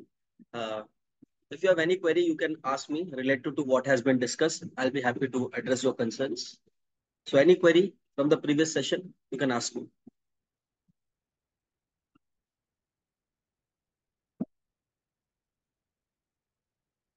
See, researchers have to be very, very innovative when they write their research papers. And uh, I was just uh, uh, reading the discussion whether AI is going to replace humans. Of course, never and not. Because one thing that really sets us apart from AI is that humans can imagine it. Our capability to imagine it makes us very unique and very different. Yeah, okay. Uh, I'm just forgetting the name of that book, but uh, just a few months back, I was at uh, EDII. I, I joined there as a faculty there. So I was reading one book in the library, and that book was how researchers select a research topic for themselves. By the way, if you enroll yourself in some of the prestigious uh, institutes in India to do your PhD, people take at least a year or more than a year to select a, a research topic for themselves. Unfortunately, in many colleges and universities, the guides give us a topic and we try to solve their problem rather than solving our problem. So it is always advisable to take a topic which is very dear to your heart rather than solving a, a, a problem or taking a topic which is dear to someone else's heart. And when I was reading that book, I, I, I, I tried a lot, a lot to somehow trace that book, but I didn't record the name and the author of the book.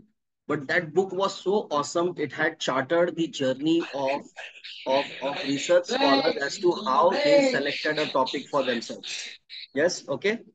So uh, it's very interesting. And there, when, when I read those topics and, and how, how researchers decided a research topic for themselves, they were so innovative. And most of the researchers, they had taken a research topic which was based on their experiences. If you see uh, PhD topics or for that matter, any research topic which researchers do, most of the topics will be related to their research interest. If you are really uh, uh, a researcher who wants to make a mark on society or make a mark on publication, take a topic which is very dear to your. Yeah, okay. Just a request to all of you, please mute yourself and, and ask query and, and unmute when, when you have a query to ask. Uh, uh, please mute yourself. Okay. So let me share the screen and, and begin the discussion. By the way, today is a discussion where we are going to understand all the nuances. Let us be theoretically sound and fair enough, or or be on a on a that footing where where we never have a, a problem related to uh, understanding all the basics that when to use SEM. Again, use SEM when you are working with latent constructs. When constructs are latent, it means they can't be measured directly. It is always advisable to go for SEM and SEM will do the reliability testing and the validity testing. Okay. Yes, I think uh, Lav Srivastavji, he is from uh, Lucknow and uh, uh, he raised a query as to whether I'm going to use Smart PLS 4. No, Smart PLS 4 I'm not going to use. I'm going to use open source software and we are going to produce results as good as what Smart PLS 4 does. Okay. So uh, let, let us proceed. Let us proceed. So yeah. Now let us focus on the reliability of measures. Again, reliability is something that SEM helps you to calculate. See, you can calculate reliability even without using SEM. If you use SPSS or for that matter R, you can calculate reliability even without using SEM. Now, I come across many papers in, in C category journals where people don't use SEM. Yes, people use process macro or for that matter, IBM uh, SPSS. And people wrote people report reliability of the measures and they run a stepwise regression or hierarchical regression. In fact, if you see uh, uh, papers, let's say uh, before 2010, or for that matter in 90s and 80s, most of the seminal papers were written using uh, simple regression like stepwise and multiple regression or logit, logit regression. And there also people reported reliability even without using IBM Amos and all, or for that matter, running also. So now what is reliability? Now, see, when we collect data, let's say we have collected data from uh, 500 respondents. Now we calculate a Cronbach alpha and uh, the threshold is that your reliability should be greater than equal to 0.70. It should be greater than equal to 0.70. If it is greater than 0.70, yes, we say that uh, that reliability uh, measure is is is achieved. But what is reliability? See, anyway, when, when we are taking a 500 sample and putting it into the software, the software is computing the reliability for all the respondents, for all the respondents. Yes. Now, please note, reliability, uh, we also call it inter-item consistency. Uh, it's an indication that that majority of the people are reliable in answering the the the, the survey. See, when people read your questions and record their responses, reliability will not be a problem. Or let's say when people uh, are not emotional in answering the survey, reliability will not be an issue. Let's say, okay, I'll give an example. Let's say there is a teacher and he, he scolded a student. And uh, on the very same day, the student was supposed to fill the feedback form for the teacher. Now, since a student has been scolded, so he is going, he is bound to rate unfavorably. He is bound to rate unfavorably to the teacher because teacher has scolded him. Though the teacher might have taught very nicely, but since the teacher has scolded him, he is going to rate low to the teacher. So here in this case, the respondent or the participant is emotional. So when people become emotional, in recording their responses or when people don't read the items of the survey and they just fill it indiscriminately, in that case, reliability will be a concern. So that's why whenever you design your survey, you have to be genius. You have to introduce some marker variable or some filler questions here and there or a negative worded item uh, into your survey in order to check that people are actually reading and recording their responses. Reliability will be violated when people become emotional or when people don't read the survey and then the answer. So reliability is of course very, very, very important in, in, in research. Now, now here we are talking about the reliability of our scale. Now, when I say reliability, it is irrespective of whether you develop your own measure or you use established scales. Now, for the first time, I'm using the term scales. Scales means I'm using somebody else's measurement. In social science, we use the term scales. Scales are nothing but, it is, uh, scales are nothing but how constructs are operationalized. It means how constructs are measured. So whether you develop your own scale or you use somebody else's scale, the test of reliability and validity is important and you cannot ignore it. So either you develop your scale or you, you use somebody else's scale. You have to check two things that is reliability and validity. Now, reliability and validity testing is basically taken care of by CFA. Now, why people do CFA?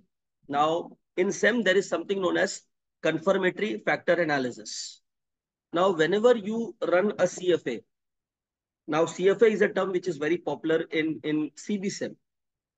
In, in PLS-SEM, instead of CFA, we call the inner model, uh, outer model testing. So in uh, IBM AMOS, or, or, let's say in, in, in, in CBSEM, we have um, uh, what you call as uh, CFA. In PLS-SEM, we have called outer model. It's one and the same. Let me use interchangeably. So whenever you run a CFA, actually you are testing the reliability and validity of the measures. Yes, reliability means every time if you are uh, uh, taking that survey, it should produce similar results. Compare it with a weighing machine. A weighing machine, every time you stand, should give you a, a, a reliable measure.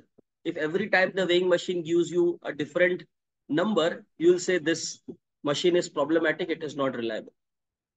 Yes, okay. And and validity. So reliability and validity cannot be ignored whenever you use scales. Now, what is reliability? So reliability refers to the consistency or dependability of a measurement. Yes. Now, is my scale consistent or is my measure consistent? Can I depend on it? So all these questions are answered by reliability. It indicates how well a measurement instrument such as test, survey or scale produces consistent results when administered repeatedly under similar conditions. Means every time it should give you similar results. Okay, I'll give an example. Let's say you are standing on a weighing machine and the weighing machine is slightly faulty and every time it is giving you 10 kg extra. So let's say today morning you stood on that weighing machine, your weight was 60. Evening you, let's say after having your food, again you stood on that weighing machine. Now your, let's say the food is of 2 kg or let's say 1 kg, let me put it lesser. So now the weight is, let's say again 61. See, uh, if your if your weighing machine is giving you 10 kg extra every time that you stand, still it is reliable, but it is not valid. Still it is reliable, but it is not valid. See, again, for a scale to be accurate, it should be both reliable as well as valid. A scale can be reliable, but it is not valid. Let's say you stand on a weighing machine. Let's say every person who stands on the weighing machine is getting 10 kg extra. That means the weighing machine is reliable, but it is not valid. It is not accurate. It is giving you a distorted figure. It is giving you 10 kg extra. So a scale has to be reliable and also it has to be valid. But when I say reliability, it means consistency. It should give you similar results every time whenever you use it. Either it could be a test, it could be a survey, or it could be a sale. So reliability is a very important consideration in a quantitative research. Now, some of the commonly reliability tests that we report when we use SEM, it is Cronbach's alpha, composite reliability, then Dijkstra, Henseler's rho, Guttman's lambda, there are many, many, many. There are, I think there are more than five measures of reliability, of which very popular is Cronbach alpha and composite reliability. Cronbach alpha, it is denoted by alpha symbol and composite reliability, it is denoted by CR. Yes. So that there are more than five measures of reliability. As I said, Guttman's lambda, again, it is a measure of reliability. But you will hardly find all these reliability measures being reported in, in research papers. In research papers, it's very common to see people report Cronbach alpha and people report composite reliability. Yes, so reliability is important in research. Now, uh, now let's focus on the validity of measure. See, when I say validity, it means how accurately we are measuring measuring a particular construct. Again, the same example. Uh, intelligence cannot be measured by the length of the hair. So if somebody tries to measure intelligence with the length of the hair, we will say it is an invalid measure. The opposite of valid is invalid. So validity assesses how well a measurement, such as test or scale, reflects the theoretical construct it is intended to measure. So whenever you are measuring a theoretical construct, how accurately you are measuring that particular construct. Now, how do you decide whether you are measuring something accurately. Let's say if you are using an established scale, the, val the, the buck of validity you pass on to the other person. See, you let me let me slightly go slow on this. If you read good research papers, people write one argument in their research paper that uh, scales which had previously passed the test of reliability and validity in previous literatures were used to operationalize the constructs in the present study. It means in previous literature, the scale was reliable and valid. And there are many papers, papers which have used those scales and, and they have talked about the scale being reliable and valid. So all those measures which are which were reliable and valid in the previous literature has been used in my study in order to operationalize the constructs. So validity will only talk about how well or how accurately you are measuring a theoretical construct. Now take example of a construct called organizational identification. OI, organizational identification. Now people have given items to, or, or they have given the manifest variables or indicators to measure organizational identification. Now, how do they come out with the indicators? I think Afrin or somebody was asking that, that uh, can I include items in my constructs? Let's say a construct has three items. Can I include more item into it? Yes, you can. But before including any, any extra item in a predefined operationalized construct, you should ask one question to yourself. Why are you doing so? What will be the benefit? And whenever you increase the indicators in a construct, you should run EFA in order to check. EFA, it means exploratory factor analysis, in order to check whether the extra manifest variables that you have included in the construct, yes, are they relating to the latent construct? So you can definitely include manifest extra manifest variables into your construct, but provided there has to be rational, there has to be a logic. I'll give an example. From my example, I was measuring organizational citizenship behavior among healthcare executives in pharmacovigilance firms. In fact, my PhD is into healthcare. So uh, I use one scale by Lee and Allen. The scale was developed in 2002 and uh, there were eight items to measure organizational citizenship behavior towards the organization. There were eight items. So I collected data. Yes, I reported the results. So after collecting the data, it struck to my mind and, and after talking to, uh, to my sample post, uh, uh, post, post analyzing my data, many of the uh, participants said the items that you included in your OCB measure, actually, it has nothing to do with our industry. So when you include some item in your construct, which has nothing to do with their industry, naturally people are going to report neutral. They will give in a scale of one to five, people are going strong neither agree nor disagree because that particular item is not applicable to their industry. So that's why whenever you go for data collection, you should critically reflect on all the items that you are using it. You should go and talk to your sample about the items which you will be giving to them and they will give you insight that, okay, some of the items that are there in your uh, construct, it is not related to our industry or it is not applicable to us. Why don't you delete it? So let's say if Afrin wants to uh, uh, include more items into her construct, first she should go and interview few of the participants, give them, show them those constructs and ask their opinion. If majority of them say, okay, these three items are not part of my industry, then you can bring few more items into the construct and make the construct more grounded. So there has to be a logic when you bring new items into the construct. And again, bringing a new items into the construct is as good as coming out with a new measure. So slightly, again, EFA, CFA route you have to follow. Is as good as, to a certain extent, it is as good as coming out with a new measure skill development. Afrin is there? Hello? Yes, sir. Yes, sir. Uh, so Afrin, you can include extra items in your construct provided your sample thinks so. Or Yes, if the sir. existing items are not capturing what you are intending to capture, then you can think of adding few more items or manifest variables into your construct. Otherwise, don't do it.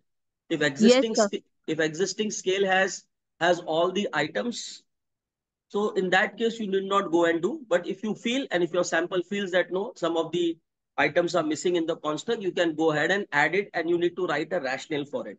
But bringing a new man manifest variable into an existing construct will amount to running an EFA first and then performing a CF. Yes. So this is how how it should go. There has to be rational. So even the uh, experts panel has Ah. suggested me the same that you said that first we must match up the usability of certain product with the respondents whom we are like you know approaching to. Yeah. yeah. So uh, it's hundred percent clear, sir. What you had said, it's crystal clear for me. Okay. Okay. Fair enough. Okay. Thank you, So, sir. yeah. Okay. Now, now please pay attention. Validity. Again, it's a very, uh, when you go for scale development, validity is something which is very, very instrumental. Now, in research, there are four kinds of validity that you need to understand. What is your content validity? Now, when I say content validity, there is no statistics available. Here, you have to take expert opinion. Here, whatever manifest variables that you have uh, devised, you have to go and show it to at least three experts, at least three. See, I'm not, see, let's say you are developing your own indicators or if you're developing your own measures, you should show these measures to at least three experts. Three experts who are really experts. Experts in the sense they are, I'm, I'm not saying ex, expert means somebody having 15 or 20 years of experience into teaching. No. Content validity has to be done by experts and these experts should be senior or seasoned researchers who have a track record of very good public publication on their own. By the way, of late, there are many uh, senior teachers. They can't write few lines, but their research scholars write papers and, and they write the name of their guide. It's very uh, common in India. But how to decide an expert? It should be your own call. It should be based on your intuition. You should uh, identify experts who have a very good track record of publication. Yes. And who are very senior and seasoned researchers who, who understand the nuances of research.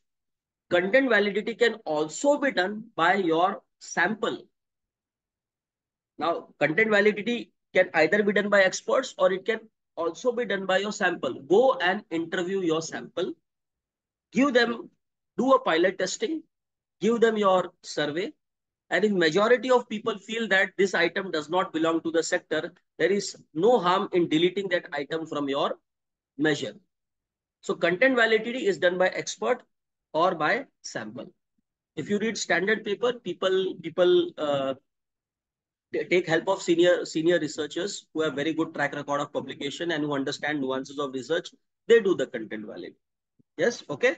And again, whenever you go for content validity, you never write the qualification of uh, the expert in your research paper or in your manuscript. So it is you who is going to take a call that who is going to decide the items of the construct, uh, uh, the items that you will include in your construct. Either it could be expert or it could be sample person. So, but there is no statistics available. Second is your construct validity in SEM. Now, Kiran, pay attention and others pay attention who are using SEM very heavily.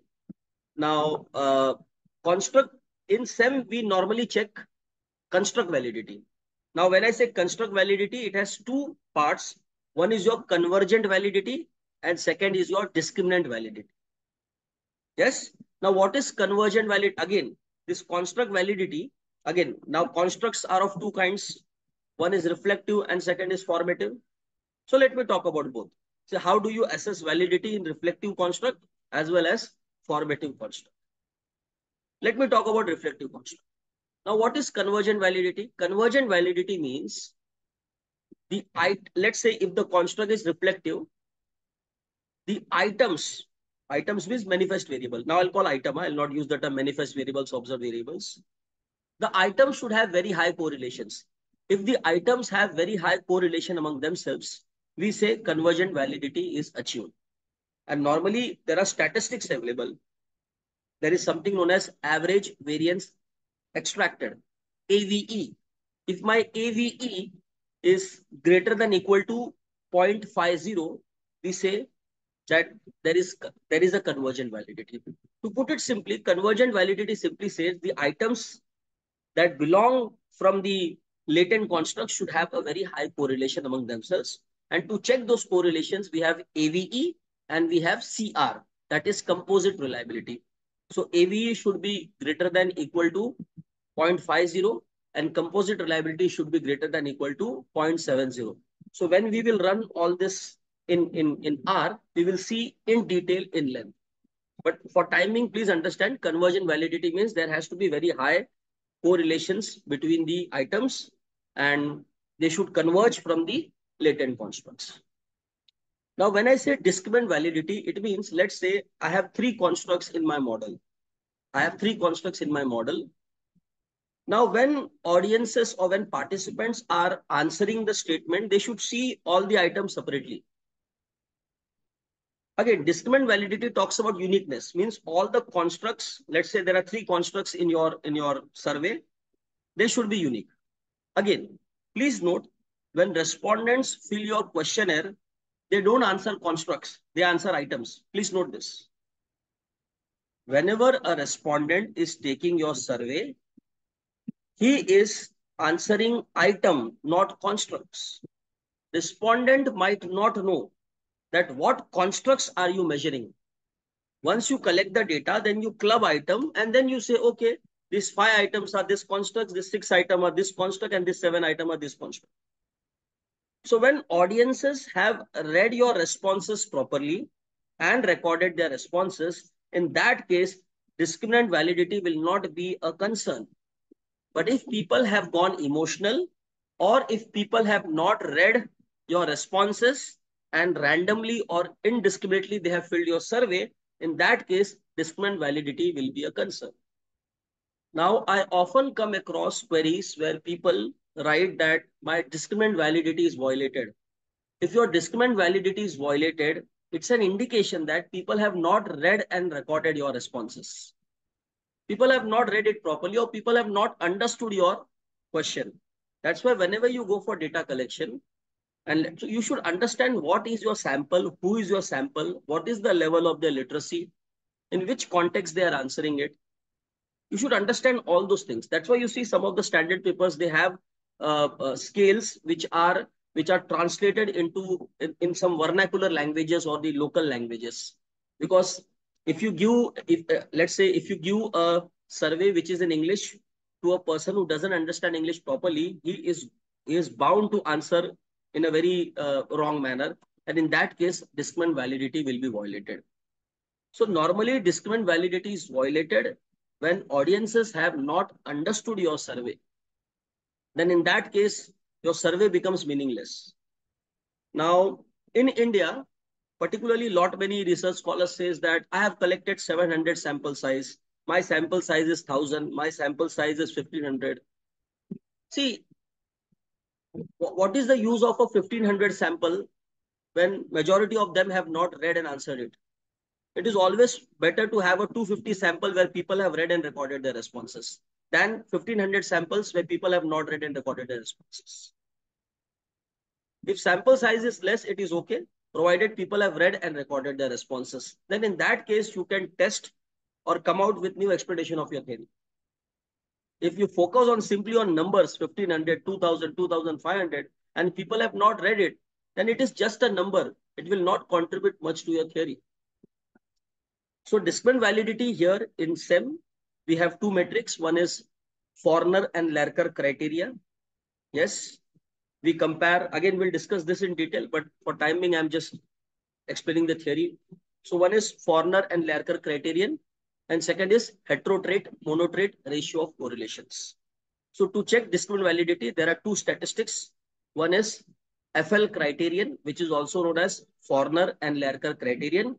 And second is HTMT ratio, of correlations that is heterotrait, monotrait, ratio of correlations. Yes, Sonam, you have any query?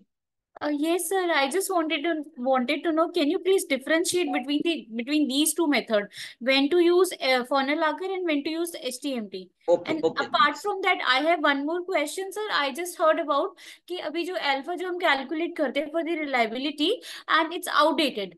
So we हमें gamma use करना चाहिए कुछ ऐसा भी है gamma is there तो वो can you please clarify about this when to use okay first let me answer answer your discount validity then i will talk about reliability see uh of late htmt is considered to be more robust than Forner and Larker criterion yes htmt is more robust yes uh, and Larcker criterion came in 1986. HTMT came in 2015. And people have proved it using simulated data that that Fornell and Larcker criteria might commit blunders when constructs are somewhat similar. So now HTMT is considered to be more robust. But if you read Sonam PLS SEM literature, authors talk about that you should report bootstrapped HTMT results where you have confidence intervals. So we'll see that Sonam. Sonam, to answer your question on discipline validity, you should report both Fornell and Larcker as well as HTMT. Sonam, you should report both. Now, I'll, to address Sonam's concern, let me show you, uh, stop sharing, uh, just a second. Let me minimize, can I minimize this? No, I need to stop sharing it. Uh, Sonam, just pay attention. Uh, okay, it's saying I cannot minimize the screen. Just a, just a second, Sonam, I'll, sh I'll show you that paper. Uh, uh, just a second. Sonam, to answer you, whenever you are reporting discount validity, you should report both HTMT as well as Fornell and Larcker. See, there is one paper by. Can you see the screen, Sonam? Uh, no, sir. Your uh, the screen is not visible. Uh, your Okay, okay. Yeah, screen. yeah, I mean, okay. you are visible on the ski screen. Yeah, yeah. Okay, okay. Now it is visible. Uh, yes, sir. Now it's Yes, sir. visible. Yeah, Sonam, see. So this is a paper which is published in IMB Review, which is a B category journal. Abusive supervision and coping strategies among Indian professional. Sonam, here you should report both. See, off late, authors are reporting both. See, discount validity. One is Fornell and Larcker test, and second is HTMT ratio. So you should report both. But let's say if you want, if if if uh, if you want to reduce uh, or if you want to uh, curtail on the word limit in your manuscript, if you simply report HTMT, it is perfectly fine. It is perfectly fine. HTMT is more robust. And coming to your second question, reliability Cronbach alpha is outdated. Yes, it is outdated, but still it is being reported and still it is being used. Nothing wrong, wrong, wrong in reporting Cronbach alpha. People report, see, whenever you see standard papers where people have used SEM, people report Cronbach alpha, people report composite reliability, and off late they report Dijkstra Henseler Rho. They also report Dijkstra Henseler Rho.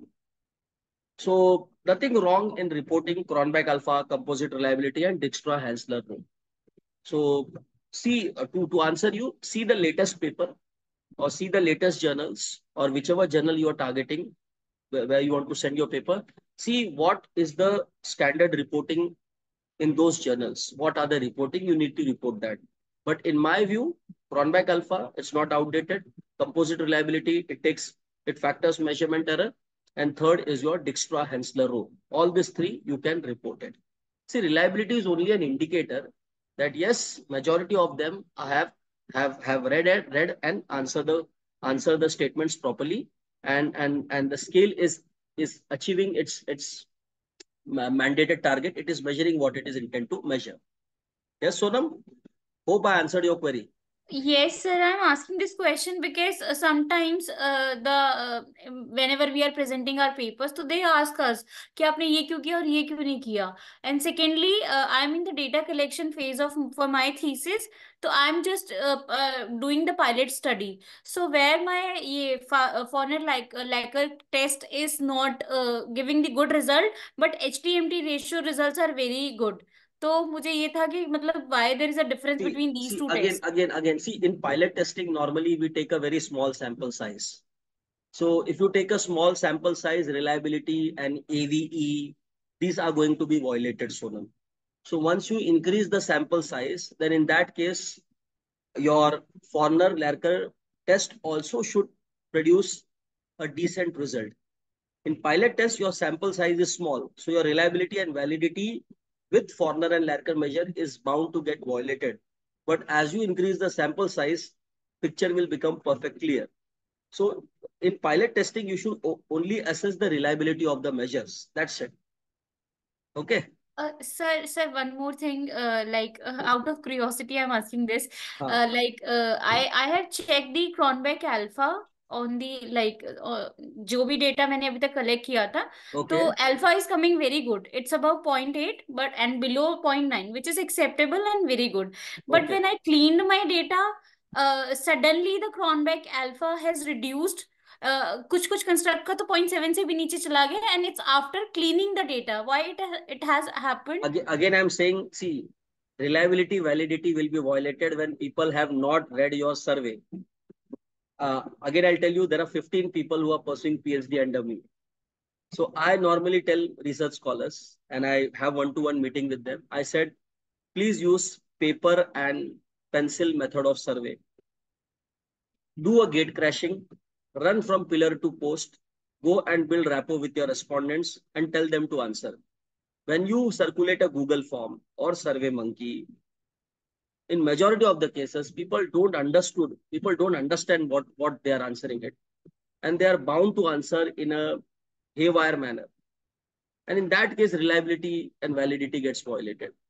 The question is, if people are reading and recording their responses, people are understanding, reading, understanding and recording their responses, reliability, validity will be automatically be taken care of. And Sonam, just uh, on a 10% sample size, it is not advisable to uh, get a very perfect picture. So if you are using standard measures to operationalize your constructs, you can still go ahead, increase the sample size, ensure that people read and record their responses, have a paper and pencil wala survey, then in that case, everything will become clear. If your Cronbach alpha is good and if you're deleting certain items, but again, in, in, in, in, in, in when you're running a reliability, you should also check which item, if you delete, your cronback alpha is going to rise. Uh, let's say if you're using uh, SPSS, so there, there is an option. So uh, yes, if you sir, s- scale and item and item हाँ. delete if item deleted so there wala. try to understand that particularly in a, in a reverse coded item where you have a negative worded item or, or a negative worded statement. So when you reverse code it, so there आपका reliability खराब हो जाता है if you have some uh, uh, negative worded item in your survey. So in that case, you need to delete it. In that case, you need to delete it. But Sonam, to answer you even uh, precisely, uh, uh, a Cronbach alpha uh, equal to or above 0.60 is also decent. A Cronbach alpha above or equal to 0.60 is also okay. 0.60 के नीचे नहीं आना चाहिए. If it is coming below 0.60, then there is a problem. Uh, okay. Sir, it's coming uh, more than 0.65, but I was just curious 0. to know okay. in a pilot एक... test, ये ये हुआ इसके लिए है people have not understood your survey. And secondly, if you're getting 0.65, it is decent, fair enough. Go and collect a full-fledged data. Ensure that people are reading and recording their responses. Yes? Okay, sir. Okay. Thank okay. you so much, sir. Yeah. Okay. So where I was. Uh, so construct validity, again, convergent validity. Here we check AVE and composite reliability. There are thresholds, discriminant validity, Fornell Larcker criteria, HTMT, and now HTMT2 also has come. But HTMT is fine. And of late, people are talking that you should report bootstrap uh, HTMT results. Even if you don't report bootstrap HTMT results, it is fine. Simply report or simply state that yes, your constructs are discriminant. Your people have seen the constructs to be different. They have not seen everything as one. So discriminant validity means that when people are recording their responses on the construct, they have seen it differently. They have not seen everything as one construct. That is essentially the idea. Now, predictive validity, again, this is not a feature in CBSEM. Predictive validity, it's there in PLS SEM. You calculate a stats, which is known as Q square stats, Q square statistics, and which is also known as Stone Geisser matrix, Stone Geisser matrix. We'll see this. As of now, this is just a theory lecture and we are setting the tone into context. Don't get confused and, and, and, and my friends, even if you don't understand what I'm saying, just relax. From tomorrow, we will have hands-on session. You will type, I will type from here. We all will be on the same page. But today I have to set the tone into context. Normally, first day, it's a very kind of a theory lecture. But flow with the flow, ask questions, be interactive, you will get all the answer. So predictive validity, you assess only in PLS SEM, not in CBSEM. Now in predictive validity, there are statistics available, which is known as Q square. Content validity, there is no statistics. Construct validity, there is statistic. Predictive validity, there is statistics. Q square. Nomological validity, again, there is no statistics. Again, I think uh, uh, Afrin was asking that that that uh, how many uh, constructs should be there in the model. So I said, please refer a meta-analytic paper or a review paper and, and see that which are the constructs which are very important and should be there in the model. See, there are certain constructs which has to be there in the model. If you don't include that constructs in the model, then there is bound to happen some problem. Nomologic, nomological validity is nothing but finding a correlation between the constructs. Let's say if literature talks about that two constructs are highly correlated, it means there is an association between the, between those two constructs and that has to be there in your model. So nomological validity, you see only one statistics which is known as R, which is Karl Pearson's correlation coefficient. So whenever you are conceptualizing a model or, or framing a model, try to have those constructs which are heavily correlated with each other. If there is a correlation between them, then you can say, yes, nomological validity is established. So to establish nomological validity, there is only one measure and which is known as Karl Pearson's correlation coefficient. Okay, so these four validity measures are there in SEM. Now in PLS SEM, we will focus on construct validity and predictive validity. Now, when we will perform PLS SEM, we will focus on two validity. One is your construct validity and second is your predictive validity. Nomological validity, you should do before applying SEM. In literature review, people go for assessing the nomological validity. Content validity, again, it is there for scale development, or if you want to tweak certain items of your construct, then in that case, you should go for content validity. Hope it is clear. Hello? Hope yes, it is clear. Sir. Okay, uh, Abhishek is there? Abhishek is there?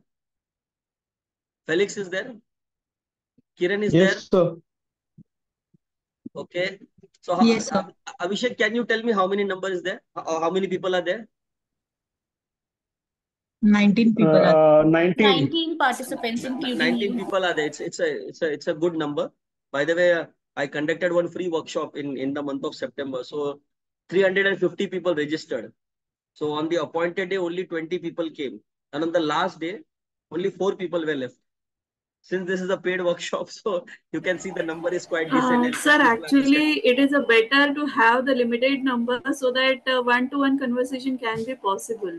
Yeah, yeah, Dr. Gandhali, I agree. uh, whenever, whenever huge number is there, na, so it becomes difficult to uh, have a good discussion. But Dr. Gandhali, uh, think from organizer's perspective more the number yeah, i i can understand sir i can understand but uh, so, as a participant uh, we are benefiting in the benefit yeah. now and by, and by the way dr gandhali you see uh, whenever such workshops happens only few people raise queries other either they have yes, understood sir. everything or they have not understood understood anything okay, okay. Uh, actually for the first session also i couldn't uh, that much attend to uh, because i was in a traffic but uh, when I reached the home, okay. immediately I started to. But my, my sincere request to all 18 or 19, 19, I, I must be the 19 person.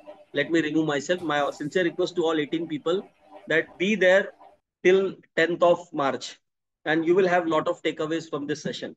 Yes, okay. Don't skip in between. Okay. So uh, one yes. question. Yes, Kiran. So this uh, nomological validity that you mentioned that only R is the one which is which can be uh, used to test. So uh, is there any index or cutoff of that R? See, first of all, uh, uh, again, uh, any correlation above 0.35, 0.35 uh, will be will be a decent number. But Kiran, uh, I'll, I'll give an example, Kiran. I was conceptualizing a model for my PhD thesis. Hmm. So my my final endogenous construct or the main dependent variable was OCB. So when I read literature, I found that there is one construct which is having a very high correlation with OCB, and that came out to be OI, that is organizational identification. So nomological validity should come out of logic, should come out of reason, and should also come out of literature.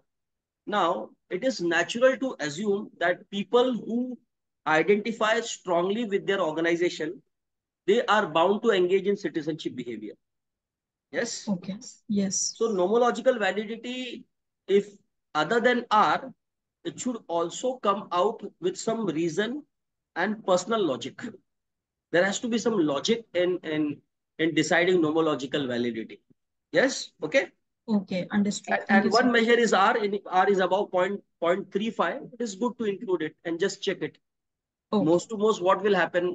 The hypo, the, the alternative hypothesis will not be supported. That's Hmm. okay. Structural equation modeling. It's a buzzword. Everywhere. Go to any place, people are using SEM. Of late, I have become highly critical of SEM. I would be happier or happiest if I can plan an experiment or rather uh, if I can do a qualitative study. I'll tell you when I was when I started learning research, I was more inclined towards pursuing a qualitative research. I am an accidental quantitative researcher by chance and to a certain extent by choice also. But if you if you try to understand my real passion, my real passion would be qualitative research. Talk to people, see pattern, and then theorize it. And that which is called as thematic research or or, or the doing content analysis and NVivo software and all, all those things people use it. Second is I'm I'm very much interested in conducting experiments. So if, if some of you want to work with me in future, so uh, we can definitely collaborate and we can do something different other than SEM and all. But SEM, it is a buzzword everywhere. You go to any place, people are using SEM. SEM is essentially used for model testing. It is used for model testing. But again, I'm saying model is simply not uh, putting one constructs uh, against each other or simply not showing relationship between between constructs. Model has to be very very genius. I'll give an example. Just last week i was at i, I, I was at kolhapur and i happened to meet some very senior management consultant who are paid in crores for what they do so there one person he came out with a model and that model did not have any theoretical backing. There was no theory in, in, in his model. And uh, this model he used to help a motorcycle company in order to locate where should they uh, position their stores in the city. Let's say if you want to open your open your showroom or outlet, so which place in the city shall be an ideal place? So so the what the consultant did, they employed some hundred people. They made every people stand in all important locations of the city, and they tracked the traffic movement. They tracked the movement of uh, of of female uh, uh, commuters. So many parameters they tracked, and they came out with a model as to which should be a perfect place in a city where people should locate their showrooms or outlets. Now, this model is grounded more in logic than in theory. Unfortunately, we are in a race to publish papers.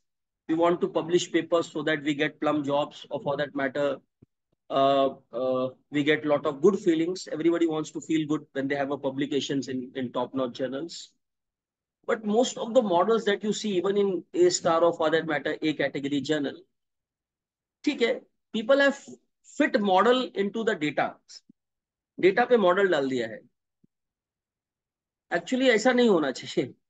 So again, uh, your model, what is it answering? So whenever you conceptualize a model, let's say somebody somebody's working on UTAUT model or social exchange theory Oh, or for that matter, let's say social identity theory. Ask a question that why is this model important and what problem it is going to solve. So please ask this question whenever you build a model because building a model is a highly creative art. Building a model is simply not bringing four or five constructs and understanding the relationship between them. Yes. So that is not a good model. Good model is something which comes from, which has a bottom to top approach rather than top to down approach. Now, I'll give an example that, that you, you take example of private universities in India. The first private university in India to my to the best of my knowledge was Amity. And post Amity now, a lot of private universities are are are are spreading across are, are coming out in India. You see, private universities they have a very high attrition rate compared to public universities. Now, I did my PhD from a central university. In a and and I've seen that in central universities people don't resign. In fact, people pay to get a job because that, that is the level of corruption. This lecture is recorded, no offense to anybody. But to get a plum job in public universities, people pay under the table. And once people get a job, they don't leave it unless the person is really mad. They, they, they retire from that particular position. But if you take example of private, private universities, their attrition is very high. Like I was with Somaiya Vidya University, Kiran knows it. And uh, मैंने यही मैंने एक statement बोला कि it's it's a new wine in an old bottle ऐसे it's a new wine in an old bottle normally people say it's an old wine in a new bottle I said new wine in an old bottle. It means all people are product of Mumbai University and now they are running a Somaiya University. So where is the newness? So, so I made a very different statement there, not to put people down and people are doing a great and fabulous job over there. But in my sense, how the university should be, it was not up to the mark. And I felt that, okay, I should be on my own rather than spending my time there. Now you can ask a question, why do people leave jobs in private universities so often than in public university? Can you come out with a model? Can you come out with a model explaining why people leave more jobs in a private university than a public university? Can you come out with a model? And can this model be used to to prevent the tide of attrition in private universities. Yes, then that will be a great model. Again, model building is an art. It's simply not seeing the nomological validity or simply not seeing R between two constructs and coming, coming out with it. You see, every person is behaving in a model. If I ask you a simple question, when I circulated this brochure and a Datamatic research solution, there is no website, yes there is no social media advertisement about this एक website तक नहीं है Datamatics का कुछ नहीं है and there was just a QR scanner people trusted and people registered it you know what was the prime attraction for 20 to 23 people registering? The prime attraction was the topic per se. If I the topic per se. Had it been statistics using SPSS nobody would have registered. The prime attraction was was was was, was the topic itself. And the topic was so attractive that people undermined checking at least there's a checking at least typing on LinkedIn or for that matter on, on Google that where is this data matrix? Where is it, where is it situated? This this institute, so-called institute, doesn't even have a website. By the way, it's just in an idea stage. And so, but some people might have seen my name. No, he's a passionate researcher and he speaks well. So some people out of trust, they would have or I would have forwarded myself personally to those people and they would have registered. So you can decide what are the antecedents.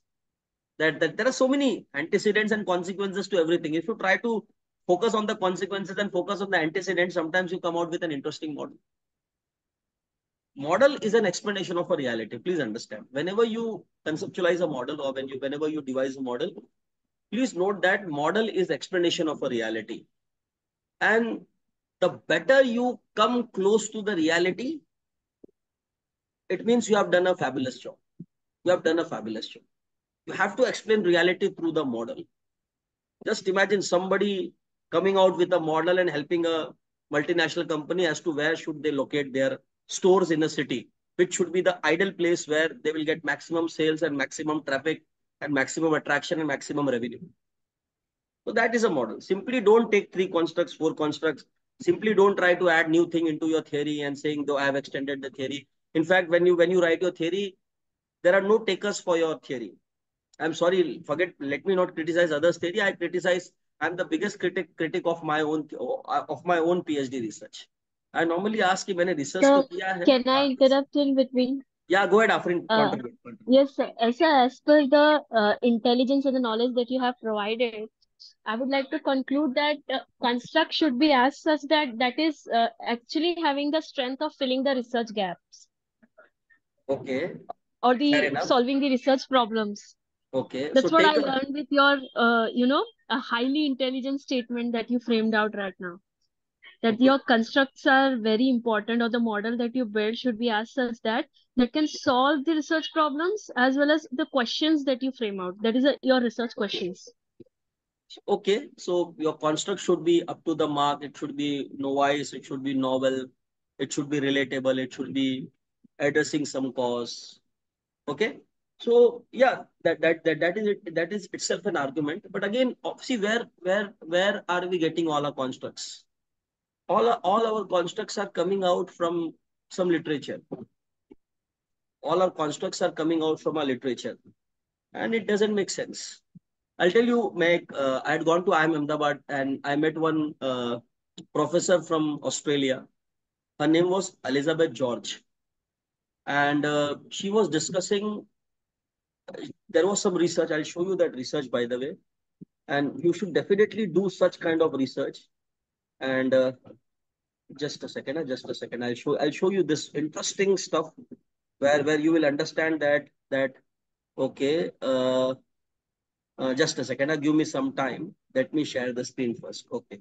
Now I'm sharing the screen uh, because I cannot minimize the screen when I share. Okay, now the screen visible. Just a second. Uh, uh, क्या नाम था उस paper का बहुत अच्छा paper था and this paper got the best paper award in Academy of Management conference and this paper was Aruna Ranganathan हाँ ये पेपर एक ही ऑथर ने लिखा है see this paper friends can you see this paper again this paper is published in a star journal huh? uh, the artisan and his audience identification with work and price setting in a handicraft cluster in southern india.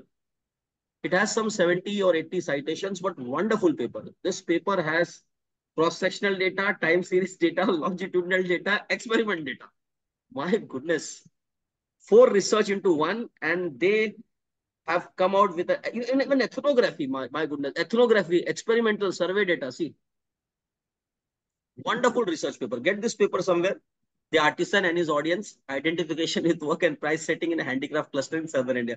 Excellent grounded work. Excellent. By the way, can you see this construct identification? See, I, see, we all identify ourselves with our family we, but we don't identify ourselves with our neighbors. If something happens to our family, we feel that this pain is mine, though the pain might be your parents or maybe your sibling, but you feel the pain as yours. When you feel somebody's pain as your pain, that is identification. When you don't feel somebody else's pain as your pain, you term it as disidentification. As uh, simple and lucid explanation as this. This is how I have understood identification. Okay. So uh, coming to this, that that model is an explanation of a reality. Be very wise in in making hope the screen is visible. Yes. Okay. Uh i'm forgetting that name. Uh doctor kya naam tha unka? She was talking to us. What was doctor? From gg ha gandhali gandhali gandhali ma'am ha are you there? Yes sir. Okay. So let's talk about actually sir i uh, i like to hear the name of kolhapur from yourself because i'm native from there sir oh my goodness currently i'm living in pune so recently last week i was in kolhapur and uh, uh, uh in which I, institute or university sir no shivaji university i've been to shivaji university Areva, in which department? Sir, previously, I from 2014 to uh, last year, to uh, okay. 2022, I was working in MBA department. Okay, okay, okay. Uh, okay. And last year, I joined Bharti. I'll tell you, uh, Dr. Gandali, I, I really enjoy that place. That place has a lot of peacocks. Again, I'm deflecting. I'll come yes, to the yes. research topic. Oh, thousands of peacocks. uh, but uh, it's a wonderful place that you should visit. Huh? By the way, their statistics department is doing fantastically well. और वहाँ पे जाने के बाद पता चलता है कि जितने भी मॉडल मैनेजमेंट वाले लेते हैं उसमें कोई दम नहीं है I am sorry it's a very tall statement to make but उनसे बात करने के बाद लगता है कि क्या मॉडल टेस्टिंग चालू है टाइम पास है Yes. Okay. Uh, okay. Let Let's focus on the origin of SEM. Okay. Origin of SEM. See again. Let's underst understand the uh, historical under. We have last half an hour, and the floor will be open. You can ask as many questions as possible. Origin of SEM. See, the origin of SEM goes back to 1903 or 1902, and in the beginning of the 20th century. Uh, see, uh, there was one uh, uh there was one British psychologist. Uh, his name was Charles Spearman, and he introduced a concept called factor analysis. Now, what is factor analysis? Let's say, I'll to put it simply. See, factor analysis को अगर मैं अगर आपको बहुत simply मैं समझा पाऊँ what is factor analysis, all of you just pay attention. Let's say, what is factor analysis? If, if let's say if I write some vegetables, apple uh, or fruits, apple and lady's finger. Yes, then tomato. Hope my spelling is okay. Please excuse me. Suddenly I'm not remembering spelling. Apple, lady's finger, tomato. Or let's say if I say uh, glass. And if I say, uh, let's say cauliflower. You will say, sir, what are you teaching us? Then I say jug. And then I say grapes. Then I say, let's say, what do you call a radish. And let's say, then I say spoon. And let's say I say uh, chiku. Okay. Let's say I have named certain things before you. Can you bifurcate? How many items are there? One, two, three, four, five, six, seven, eight, nine, ten. So you have 10 items before you. Can, can you bifurcate them? Can you bifurcate them into three? So we have fruits, Fruits, Vegetables. we have vegetables, and third, what we have? We have utensils. Utensils. So this is nothing but factor analysis. Okay, if I ask you a basic question that what are the disadvantages of online learning? You will identify four or five reasons. In online learning, face-to-face connect is missing. Online learning is monotonous. By the way, I've written one stupid paper. Huh? By the way, I, I don't have too much. I'm just trying to break the ABDC rank. मेरे इतने, I think Kiran has some publication in B category. She is more senior than me. किरण के बहुत अच्छे paper है B category journal के अंदर she is she is doing a fabulous job तो मैं, मैंने एक पेपर लिखा था कि factors in inhibiting online learning experience if you go to I don't have much citation by the way I am an emerging researcher so मैंने एक paper लिखा था कि अगेन uh, वो मैंने अपने सोच पे लिखा था कि कभी मिला तो टाइम भेजूँगा मैं। तो मैंने उसमें फैक्टर एनालिसिस लगाया था। फैक्टर एनालिसिस हम लोग रोज करते हैं।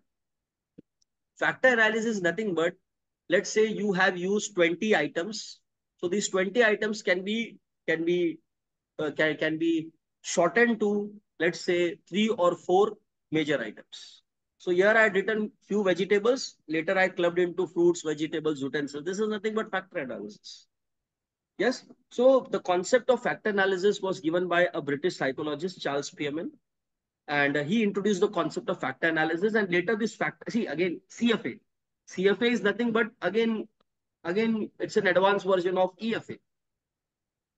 So uh, you apply EFA when you don't know the underlying factor structure. You apply EFA जब आपको underlying latent construct पता नहीं है. When you don't know the underlying latent construct, you apply EFA. What EFA does, it, it groups similar items and it just separates them. So EFA separates or groups items. And then later on seeing the item, you name the construct. On seeing the items, you name the construct and you say, okay, when you ran EFA, you identified five factors and you do the namkaran or you name all those five, five factors. CFA is basically done. CFA is also known as theory testing or measurement model testing. You confirm whether your data is fitting that particular measurement model or not. So EFA is an exploratory technique. CFA is a confirmatory technique. You are just confirming कि जो theory बोलता है मेरा data उसमें fit होता है कि नहीं Yes. So EFA is exploratory. CFA is confirmatory. Actually, both are one and the same. So the roots of CF uh, of SEM can be traced back to 1904. Sorry, I was saying 1902, 1903 when Charles Spearman, he came out with the concept called exploratory factor analysis. Yes, okay. Now, I, on a very uh, serious note, people normally laugh on me. I, on a very serious note, I say that take a topic जहाँ पे EFA लगाने का scope हो.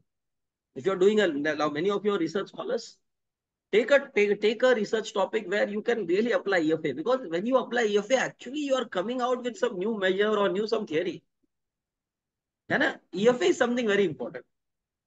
But again, uh, method should not decide what research you should take. Your research should decide the method. It's other way around. So uh, again, Spearman, he, he was working on intelligence and he identified some common factors between intelligence. And he said, one is your general factor and one is specific factor. Now, uh, see, see, uh, what it what is it if, if you have to define intelligence, how would you define intelligence? See, intelligence is the ability to relate wisely to the to the stimuli around us. If people don't relate wisely to the stimuli around them, then they are they, they will be called as insane. So intelligence means means using your head to, to, to solve your problems and relate wisely to the external circumstances.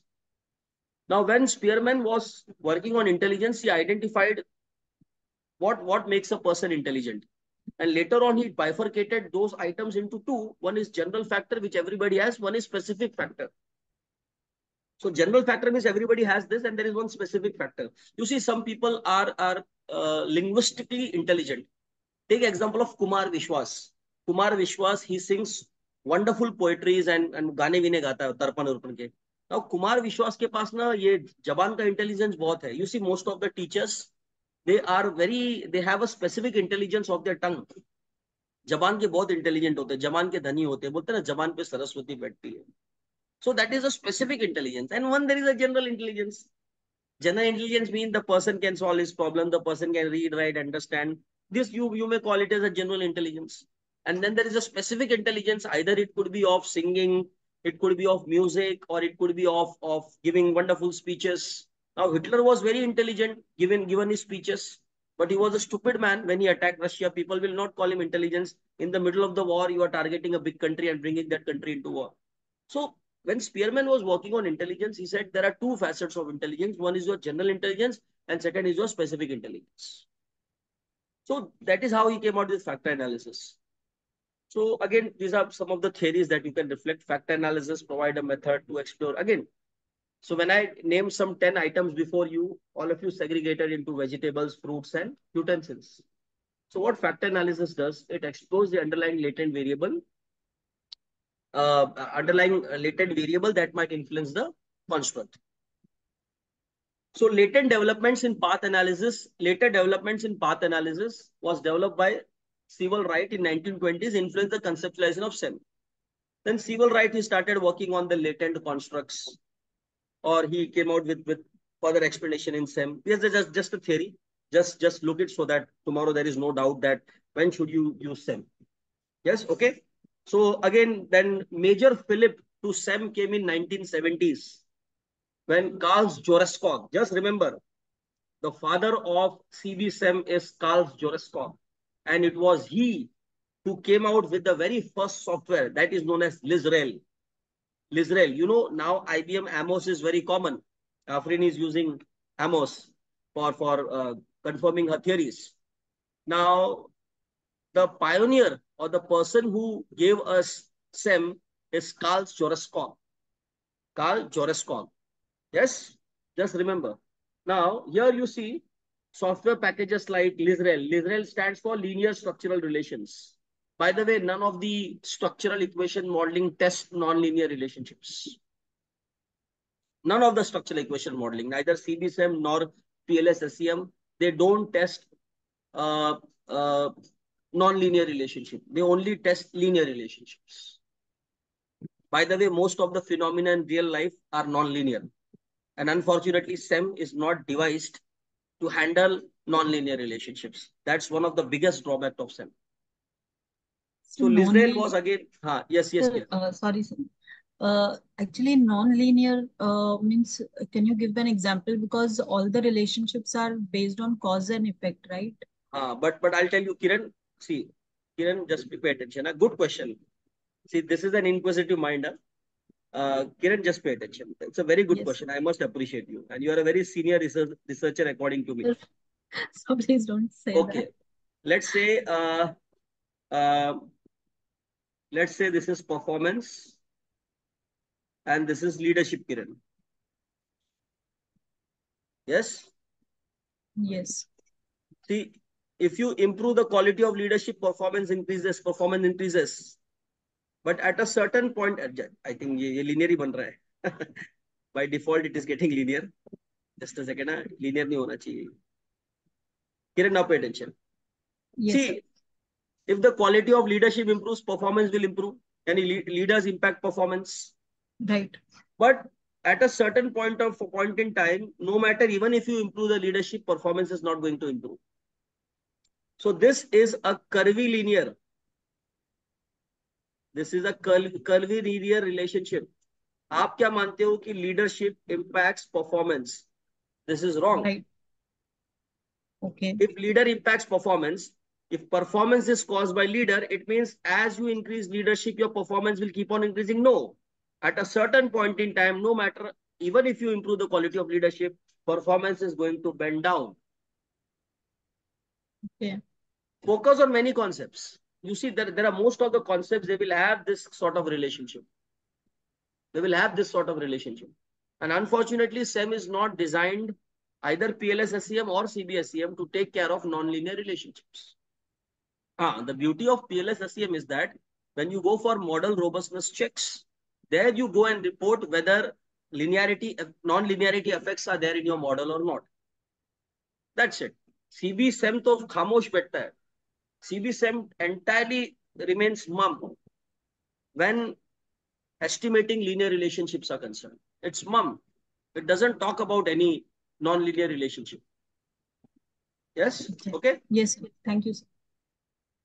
So, uh, LISREL, I'm Amos, EQS, M plus. By the way, you should explore other than you should also check M plus. Huh? M plus is the now you see uh, top-notch journals they are using M plus in, in, instead of Amos and all those things. By the way, you hardly find paper where people are using R to to perform SEM and all. Hardly you will see. Huh? People are either using Amos, M Edenco, or Smart PLS4 but hardly you will see people are using R. You see, R is getting very popular.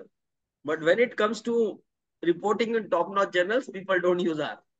Though R is very simple, but people don't use R. that's that's one of the what you call as uh, irony of R that top-notch journals में R को use ही नहीं कर रहा है। सब लोग यही sir सब अगर हम लोग लाइक अगर मैं अपनी थीसिस में आर यूज़ करूँगी तो रिजेक्ट तो नहीं हो जाएगा कि आर नहीं नहीं नहीं लगा? नहीं Sonam only see Sonam only stupid people will reject by the way मेरा एक पेपर बी कैटेगरी में बार बार रिजेक्ट हो रहा है। अब मैं सोच रहा हूँ कि आर के वजह से रिजेक्ट हो रहा है क्या? मेरा एक पेपर है बी कैटेगरी में आ जाएगा आज नहीं तो कल। अभी उसमें तीन रिजेक्शन झेल चुका है सोनम। और वो मैंने उसमें और सोनम सच्ची बताओ मैं आर को बहुत मानता हूँ। मतलब आर इज़ लाइक मतलब उसने मुझे बहुत पहचान दी है। I lot of workshops at pan India level on R so I love R like anything मतलब रात को कोई बारह बजे उठा उठा के बोलेगा ना कोडिंग करो मैं कोडिंग करना चालू कर दूँगा। सो बट ऐसा नहीं है सोनम। नॉर्मली uh, क्या होता है मालूम है क्या? मैं आपको एक एग्जांपल देता हूँ सोनम की uh, मैं एक बार आयम उदयपुर गया था तो वहाँ पे मैं एक बहुत बड़े प्रोफेसर को मिला था। He was from Australian National University तो उन्होंने क्या बोला मालूम है क्या कि वो वो वो आर से डरते हैं। आर से डरते इन द सेंस माने वो क्या बोलते हैं जब प्रोपराइटरी सॉफ्टवेयर है ड्रैग एंड ड्रॉप ऑप्शन है, कौन बैठ के कोडिंग करेगा? And by the way R is time consuming in fact, i have i have written my phd thesis, all my analysis using r, and i used to go and sit at IIM Ahmedabad छुट्टी लेके जाता था, वहाँ पे बैठ के मैं coding करता था पूरा दिन। और कोडिंग करते करते मुझे महीनों लग गए हैं। My entire PhD is on R अभी मेरा जो बी कैटेगरी में पेपर आएगा वो भी आर पे ही आएगा। मैंने आर ही आर ही लिखा है उसके अंदर। ऐसा नहीं है Sonam if you use R your paper will rejected unfortunately क्या हो रहा है कि जो टॉप नॉच जर्नल्स में जो पेपर आ रहे हैं ना सोनम वो सब uh, ज़्यादातर सीज़न रिसर्चर्स है।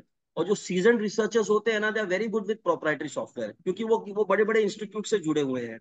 अभी जैसे मैं आपको बताऊँ कि all top notch institution India में ही ले लो ना सारे आई ले लो आई ले लो एनआईटी ले लो आईएसबी ले लो वो सब लोग ने प्रोपराइटरी सॉफ्टवेयर खरीद के रखे हैं।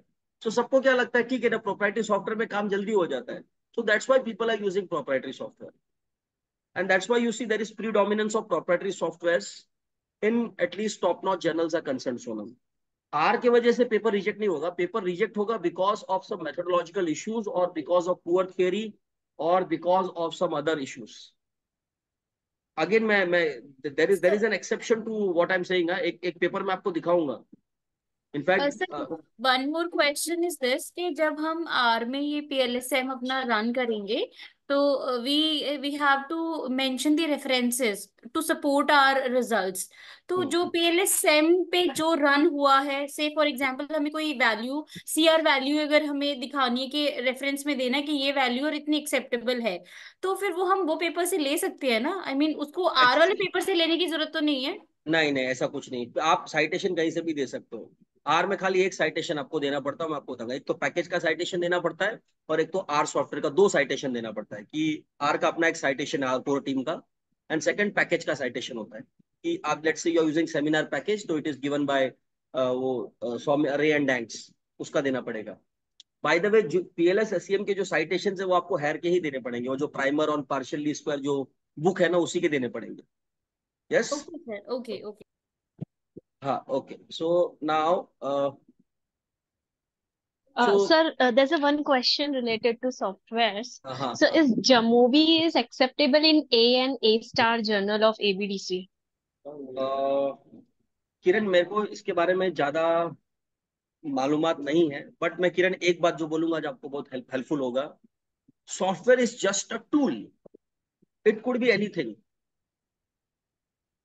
कोई सीनियर रिसर्चर होगा ना, वो ये देखेगा कि what have you contributed he will not focus on jamovi R और for that matter any any other software though jamovi is free see you either you calculate your result in SPSS और for that matter Minitab और for that matter ये Stata और for that matter any software like SPSS result वही आने वाला है April so in my understand see normally क्या होता है, जितने भी टॉप नॉच जर्नल्स होते हैं ना, वो सब बड़े बड़े इंस्टीट्यूट से निकल रहे हैं। बड़े बड़े और वहाँ पे क्या है कि प्रोपराइटरी सॉफ्टवेयर अवेलेबल है। So there people go and and and mention that yes have perform the analysis in Minitab they have perform the analysis in startup वो नहीं लिखेगी कि मैंने, और जामो भी वो क्यों यूज़ करेगा जब उसके पास कोई अच्छा चीज़ है ना आफरीन मेरे हिसाब से Afreen to answer you software is just a tool आप कोई भी सॉफ्टवेयर यूज़ कर लो। आंसर तो वही आने वाला है।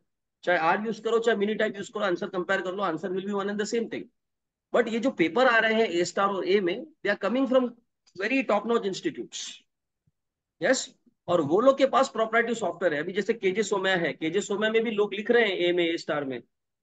तो वहाँ पे क्या केजे सोम्या ने खरीद के रखा है अपना एसपीएसएस और क्या नाम है कि आपका ये एमोस तो केजे सोम्या में लेट से अगर कोई अगर वो कोई सॉफ्टवेयर तो वो वो थोड़ी ना बताएगा मैंने जामोवी यूज़ किया है। वो भले जामोवी यूज़ किया होगा लेकिन वो लिखने को क्या लिखेगा कि मैंने एसपीएसएस यूज़ किया है? लिखना तो आपको है ना?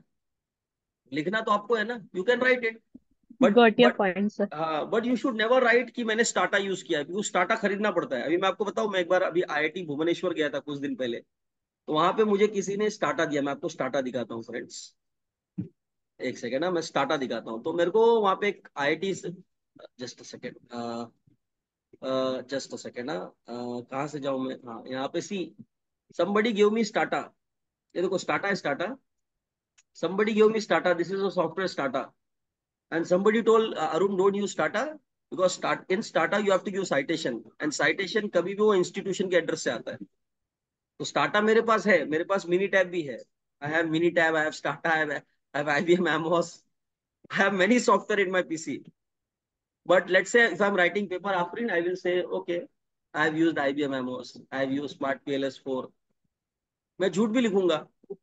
बट मैं नॉर्मली मैं सी मैं आपको बता रहा हूँ फिर मैं एक पेपर अभी लिख रहा हूँ ये बी कैटेगरी में बार बार रिजेक्ट हो रहा है। ये आ जाएगा एक नए दिन आ जाएगा पेपर ये। सो so, ये पेपर मैं आपको दिखाऊँ ये मेरा एबीडीसी का पेपर है ये। And it is stuck up for September से पेपर अटका है। एंड uh, ये पेपर अगर मैं आपको दिखाऊँ तो I am very I I always write the truth whatever software that I use because I know that that see here I have, I have categorically mentioned uh, statistical analysis were performed using R version 4.2.3 and open source software and this is the citation Model testing involve the use of composite. दिख रहा है क्या screen? नहीं ना? Oh, sorry, sorry, sorry. So your not screen is not visible. Yeah, yeah, yeah. yeah. See, I, I'll tell you, uh, software is just a tool no matter what you use. So this is a paper. Here I'm very clear that statistical analysis were performed using R and open source software. This is the citation. Model testing involved the use of composite-based approach to SEM by installing the CSEM package. So here I've given citation for R and citation for CSEM package. So only this, only here you report. Only in the statistical analysis part, you report Jamovi, Stata, whatever it is.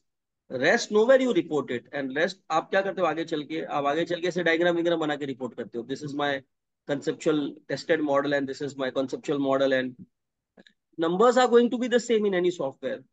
So I don't think so that your paper will be rejected just because you have used Jamovi or any other software. Yes, okay. So one more question I have that for Huh. A category journal, one of my paper got rejected just because I have used the uh you know established theory or the theory that was already been used uh 12,000 times in uh, research papers. Okay. For example, UTAUT model. So the uh, Journal of Information System it was. They said ki we are not accepting TAM or UTAUT model. Your paper is very strong. See, So again, is again, it again, again, why see, in top-notch journals, it is the novelty of idea that is given more weightage than any theory which is tried and tested. See, again, uh, what do you think? You are the only person who are working on UTAUT. There are there are lot many knowledge. See, what, what's the difficulty of cross-sectional research? See, when you say psychological capital is related to OI and OCB, there are thousands of papers who are, who are talking about this relationship. Now you went ahead and tested, and you you you are also saying, see, 1,000 1,000 papers are saying that your relationship. You also went ahead and tested this relationship. So what is your contribution to, contribution to research? Already, what you are what you have tested, it is known by everybody. So if you simply beat around the bush, your research paper will be rejected, citing novelty, because there is no novel, there is nothing new. So come out with some alternative explanation. That, that's why, see, you see, that's why off late, see, what is the buzzword? What is the trend now? Now people are con co- conducting longitudinal studies. People are conducting time series studies. Or people are conducting two-wave studies. First, they will conduct a study. Then after a gap of three, four months, they will conduct one more study. And then they will say how these two studies are interrelated. So off late, this is the trend. Or let's say when I showed you Aruna Ranganathan's paper. So in one paper, there is ethnography. There is one, uh, what you call as time series data. There is one, uh, uh, what you call as qualitative data. So many things are there. So top-notch journals, A or A star में क्या होता है कि it is the novelty that matters. And again, to answer you, Sonam, that whenever you read papers, you don't settle for C category or B category paper if you want to go for A category journal. So if you really want to target A category or A star, you try to read papers from those journals only and see how they are theorizing. And again, Sonam, to answer you, human mind is known for imagination. If you can imagine it, things in a very different perspective and and and come out with a with a theory explaining that imagination or come out with some beautiful explanation, then those journals, your paper will be accepted. Hope Sonam, I answered your query. Yes, sir. Not not everything, no? okay. So how much time I have? I have I think uh, none of the boys are asking any question. Initially, Abhishek was active and only female participants are active. Why? But I appreciate. I also. Uh, like uh, I was working on the theory of planned behavior, and in management, a lot of the people are working on the theory of planned behavior. So Emerald Emerald publication has rejected my paper, saying that uh, you have to uh, cite more recent uh, jour- most recent journal who are working on the theory of planned behavior. Yes, correct. See that that's it. See, I'll tell you. Uh, there was one professor Khatri, from forgetting his name. He he has given he has written one paper. Why do papers get rejected? He has written one paper as to why do papers get rejected, and the prime reason is that that there are not many recent studies are included in your paper. So that's why, and, and second, I'll tell you one more professor is prof, the uh, Professor Ernesto Noronha from IIM Ahmedabad. Uh, he always says that that uh, if you are doing a research in India and if you don't cite Indian authors, he will reject your paper. You are doing a research in India, but there is no Indian authors that you have cited. So sir will reject your paper. He said, India mein research karo, to Indian authors ko bhi cite karo. Madam, see what work has been done in India. See, unfortunately, all our work, all our constant UTAUT and all these are not developed in India. Or theory of planned behavior, this is not developed in India. So why not see those studies which are written in India or which are developed in India and try to cite them, Abhishek? So I think that that's a valid argument, Abhishek. And, and now you fine tune that paper and send it to some other journal so that, and let's see what's, what's the opinion, what's the response. Take it in a very positive way. By the way, no, I'm taking it in a positive way, but what if the uh, if there is very less study has been done in India on a particular topic? No, this is what we feel, Abhishek. And see, no, but but uh, but the thing is that now most of the universities uh, they just focus on the citation. If you're taking a citation of the Scopus Journal or a Web of Science, then only they take your paper for the accept the paper in their Scopus Journal and all. See, that, that, that, that of course, quality journal matrix matters, Scopus, Web of Science, all this thing matters, Abhishek. But the question is about literature review. You really have to uh, do a thorough literature review or uh, uh, rather you can also route, write a counter mail to the editor and if the editor is helpful, you can just ask sir, which are the recent theories I did my research, I'm unable to locate it. Can you help it? And let's say if you're lucky, he will he will send you couple of couple of papers. But see, normally uh, our literature, so, see, I, will tell you, uh, presently I'm not employed anywhere. I work from my home and uh, I'm more part of a gig economy. Now, when I do literature review, you know what, what, what will come to my rescue? Google Scholar will come to my rescue. Yes, I IEEE Xplore come to my rescue. JSTOR will come to my rescue. So that there are credible uh, portals where you should be very genius in, in, in downloading papers and seeing which papers have been done in India.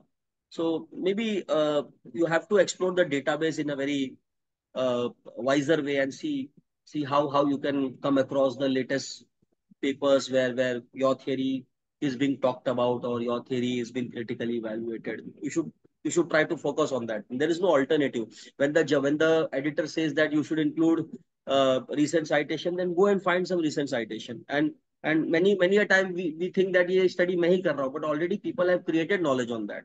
We are not new. So again be open be critical to your own self and and and go ahead and do it.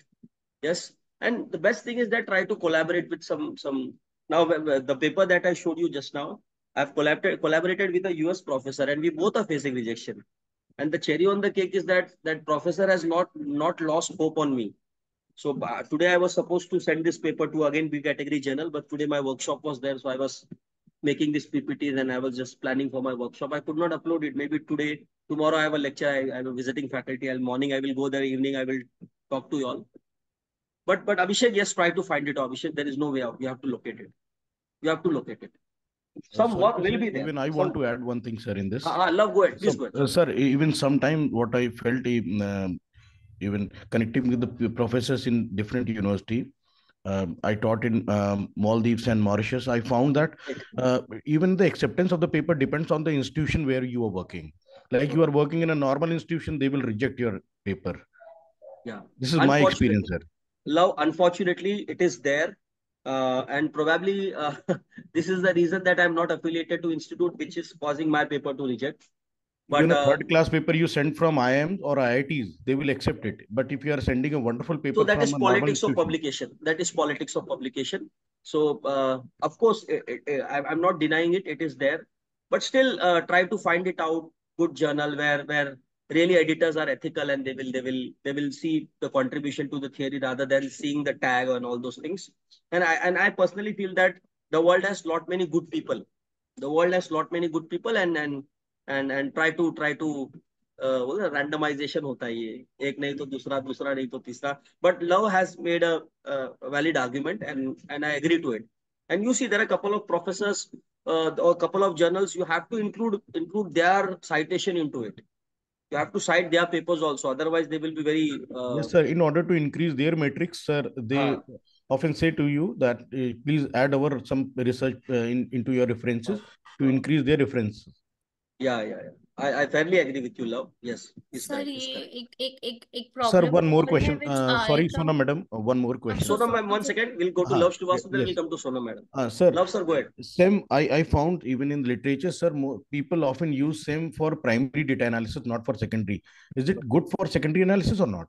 Yes, yes, of course. See, see, when, when you say that that things are related with each other, so whenever you find correlation between the constructs, nothing wrong. Even in secondary data, you find correlations. Yes. Now, inflation. Let's say inflation is connected to so many other indicators. So you can definitely take secondary data and, and, and run a SEM. Nothing wrong with it. But yes, you are correct. Like people are applying SEM particularly for primary data. Yes. Okay. You are correct. Secondary data also it can be used. It can be used. But See, again, the question is try to find the literature. कि कहाँ पर use हुआ है. Again, that's that's a billion dollar question. I think what Yes, sir. It is very difficult to find it on Google Scholar also because That's why uh, you should you should keep up a bird's eye view, talk to people, and keep on regularly scanning. See, normally where do we scan journals? Hmm. Library may even see. I regularly go to IIM Ahmedabad. And on the IIM Ahmedabad bookshelf, you know which journals I see IIMB review, Vikalpa. Even IIM IIM Ahmedabad, I'm talking about Vikalpa, IIMB review, and some one or two American Psychological Association journals Even uh, and and and uh, lot of Indian journals. So there also, and normally people use EBSCO and and uh, वो, uh, some some other uh, portals to access. तो मिल नहीं पाता है. So normally what you see, I- I'll tell you uh, uh, uh, interesting thing. Sir, if you get somewhere, sir, uh, please share it with me also. Uh, some Uh, secondary database analysis somebody has done. If I with- come across, I will share with you. If I come across, I'll share with you. So Okay. I'll show you one thing. No, see, normally what I do, uh, I've created this tab, Journals Watch. So these are some of the journals that I regularly watch. Journal of Business Research, Journal of Applied Structural Modeling, Journal of Consumer Research, it, is A star, HRD Quarterly. Again, this is A star. Journal of Organization Behavior, A category, Journal of Business Ethics. So you should you should create a watch. Regularly, you should watch the journals. Then let's say qualitative papers. I'm very interested in qualitative papers. So I, I just whatever papers I find, I just write it here. Then experiments, I I want to conduct one workshop on experiments. So in the month of May. So how to conduct experiments. So I'm just reading about it. And once my reading gets over, if I'm confident, I will conduct one workshop on how to conduct experiments. So you should you should create your own journals watch.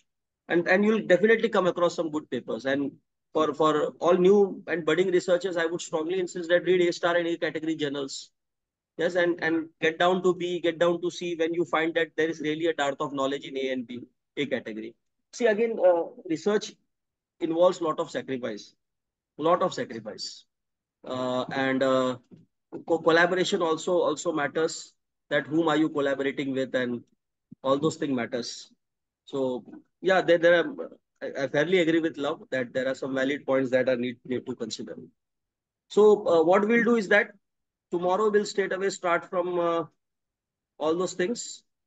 From uh, today's time is over, by the way. Let me talk to you and we'll take one or two query and tomorrow we'll complete one or two more slides are there. We'll complete and tomorrow we'll, tomorrow entire day R will be there. Tomorrow don't miss, miss your class. Be there on time and flow with the flow because I am very fast in using R and you will flow with the flow and you'll enjoy tomorrow's session. So any query, one or two, and, and I, I appreciate that so many people shared your observations. By the way, I have one question. yes, Afrin, go ahead, yes. Yes, sir. So, uh, as if if I am working entirely on my paper, research Hmm. paper. For Hmm. example, I have written server call paper and so on on Mumbai Metro. So it has been selected in Q2 of the Scopus. And Okay. I become the second author in a collaboration part. Just Okay. because I belong to like, you know, I'm not working full time. I'm just a visiting professor because my daughter is very small. Okay. So is it necessary that I must be the second author or what is a like, you know, See, see, I, consequence of I'll, I'll being a tell you, I'll second tell you. There are a couple of institutions, when you apply for jobs, no, they, they write a condition that you should be the corresponding author. You should be the corresponding author. There are a couple of institutes, some institution, if you apply for jobs, they will they will want you that you should have minimum two publications in A category or B category where you should be the corresponding author. They mention it very categorically. There are a lot many institutions who are flexible that even if you have two or three papers in top-notch journals, even if you're second author, it doesn't matter to them. But it is always advisable, Afrin, अगर आपने मेहनत किया ना तो अपना नाम पहले डालने का. Afrin, let's say if you have Yes, sir. Yes, sir. you should all see if you have worked like let's say I'm, I'm writing this paper my guide is there and American professor is there. So I have written my name first, American professor second, and my guide third. Yes, okay. So if let's say if your contribution to the paper is huge, you should never shy away in writing your first name. Got it, sir. Got it. So is it matter that I'm a visiting professor, so I can't be the first? No, no, it's not like this. It's not like this. You simply write the name of your visiting institution, or you simply write independent researcher. Now, see, I'm submitting my paper. You know what, what I write? I write data ma- chief research analyst, data Datamatic research solutions. I write this. No problem. Yes, sir. Got it. Or you can write I'm an independent. Simply write independent researcher. Or rather, that will be okay. Okay. Any other query? But I appreciate quality questions, quality observations, and I, I don't Uh, claim that I do everything under the sky. Your your contribution, your observations, your questions are very very important in this workshop. Okay, go ahead. Uh, sir, uh, I'm having. Let let let so, uh, let's come to Sonam, then we'll come to Felix sir. Sonam, go ahead. Sonam. Then we'll later we'll go to Felix sir. Sir ये situation एक मेरे साथ भी हुई थी like I am a research scholar so I have submitted my paper तो वहाँ से मुझे रिजेक्शन आया था अ, मेरा और मेरी गाइड का ही नाम था वैसे उसमें तो उन्होंने तो ये कहा था कि आप और दो तीन ऑथर्स के साथ काम करिए तो some of people have told me कि रिसर्च स्कॉलर का नाम पहला होता है ना तो एक इम्प्रेशन जाता है कि पेपर क्वालिटी का नहीं होगा। नहीं नहीं ऐसा नहीं it's it's a stupid argument no no no no Sonam you should always write your first name if you research scholar you first name आपका होना चाहिए। सेकंड नेम बाद में जो भी आपको जिसके साथ कोलेबोरेट करना है, उसको डालिए। But please include those people who have at least contributed and Sonam nothing wrong see Sonam you you never see you know my my my three paper are rejected I tell you reason मेरा एक paper तीन जगह reject हुआ है। Now I am sending for fourth first this first first journal rejected citing weak mediation because that journal doesn't consider mediation in cross sectional data. Cross sectional data में mediation बोलना बहुत भारी है उनके लिए। यस second जर्नल says कि हमारे scope में नहीं बैठता है। आपका पेपर हमारे स्कोप में नहीं बैठता और वो एडिटर इतना अच्छा था, उसने मुझे तीन चार जने के नाम दिए कि यहाँ यहाँ भेजो। थर्ड जर्नल ने मेरा पेपर रिजेक्ट किया साइटिंग की आपका जो रिसर्च मेथोलॉजी है, वो हमारे स्कोप में नहीं बैठ रहा थर्ड पेपर रिजेक्टेड कि आपका जो रिसर्च मेथोलॉजी वो हमारे स्कोप में नहीं बैठ रहा है। Now fourth paper I am sending let's see what they will say लोगों का ग्यारह बारह बार रिजेक्ट होता है। नो पीपल ग्यारह बारह बार। मैं बोलता हूँ क्रॉस सेक्शनल पेपर को निकाल लेना क्यू टू में भी भारी पड़ता है। तो but doesn't matter don't lose hope again see मैं आपको बताऊँ, मेरे I am conducting this workshop but मेरे सारे मेरा एक पेपर वेब ऑफ़ साइंस में है, बाकी बाकी दो यूजीसी केयर में है। But still I have not lost hope and I am 40 years old imagine 40 में पार कर चुका हूँ। And I don't have a job I am more part of a gig economy now freelancer and all मेरे पर कितना pressure है कि बाबा बी कैटेगरी में निकालो ए कैटेगरी में निकालो और किसी अच्छे बिज़नेस स्कूल को पकड़ो। So you can't understand my plight and my pressure so मेरे दिमाग में बहुत सारे आइडियाज़ है लेकिन I am multiple choke because I to generate revenue for my family and sitting at home and all so many things are but don't lose of Sonam write your first name without hesitation let's go to Felix Felix Felix sir what to you sir uh, you said that for thesis uh, you used uh, both uh, R uh, for uh, coding as well as for uh, writing the thesis. Did you Yeah. use R uh, Markdown application, sir? It is, it is. R Markdown application you used, sir? No, no. Uh, see, first of all, in my thesis, I have used entirely R. So I, I have just reported it that I have used. I'll show you my thesis. Uh, uh, just a second. Uh, uh, just to show Felix sir, my thesis. My thesis is entirely on R. Because I'm well versed with R, so I use R. So this is my final thesis, Shodh Ganga. And you see, uh, this is my topic. Pathways to OCB, role of psychological resources, LMX and EA. And if I if I take you down, uh, this is the model that I've tested, which I call it a stupid model. I am the biggest critic of my own thesis. कि चलो model तो test किया किसको परवाह पड़ी है उसको use करना है and if you go down Felix sir so here you see all codings I have written. In the annexure I have written all the codings. Felix Felix sir can you see? No, sir. No, sir. so here see I've, I've written all the codes and syntax. So now when I conduct workshops and sometimes uh, if I want to refer I refer all the syntax. You see I've written all the syntax in the annexure part. So nothing wrong because if you have used R, write all your syntax and it's better. And And here I've gone, I've in PLS SEM, I performed every analysis, all the latest analysis in my thesis, included everything. And yes, Felix, you can, you can definitely uh, use R for your thesis. No harm with it. But again, yes. no, uh, uh, for me, there was a pressing need. I was very obstinate that I want to use R only. Though I could have paid 2000 rupees and buy, buy SmartPLS for one month and done everything. But I wanted to take a longer route because my obsession with R was very high. And today, wherever in India I can speak on R, it's all because of the rigor that I've went put it into put it into into my thesis. See again, no uh, number of publication will not decide the, the decide your quality as a person, but of course it matters. I'm not deciding it, but ultimately how learned you are also matters. I I see lot many people they have very good publications, but but they don't have the convincing power or they don't have the ability to speak and put their points. But that's a different argument. Publishing, there, there cannot be a shortcut. You should publish or perish. That's the motto. Okay.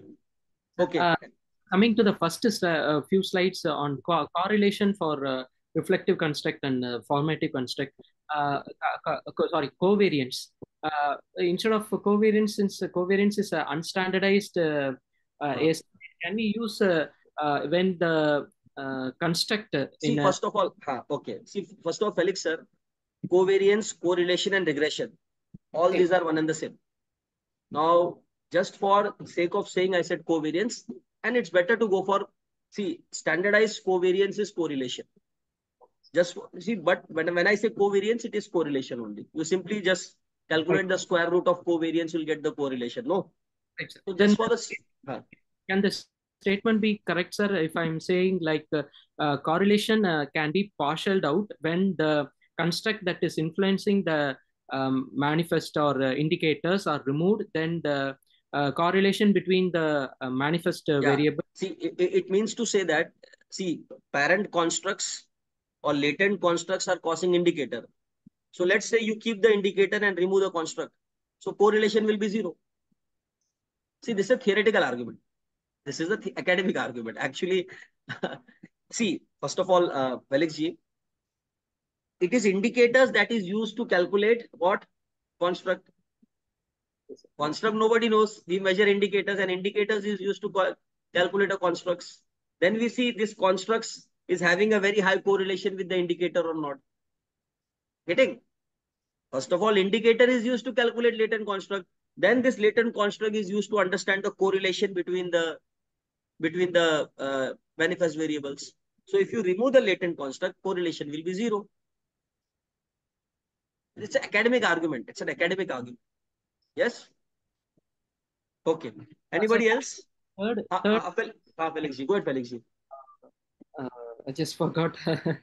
third and fourth questions are there. Uh, the, sir, you gave an anecdote that uh, for your uh, organization, organizational citizenship behavior (OCB), -huh when you uh, use the theoretical uh, uh, constructs and uh, you uh, created the framework and uh, collected the data later yeah. on you when you locally interacted with the sample they said that none of the constructs are being really used by them no, no out of see out of ocb three items which were not applicable to that industry so maybe my pilot testing or pre-testing went wrong see oh. it's, it's fair enough to admit it and and by the way there is a global consensus that, that when you enroll in a PhD, you are learning a research.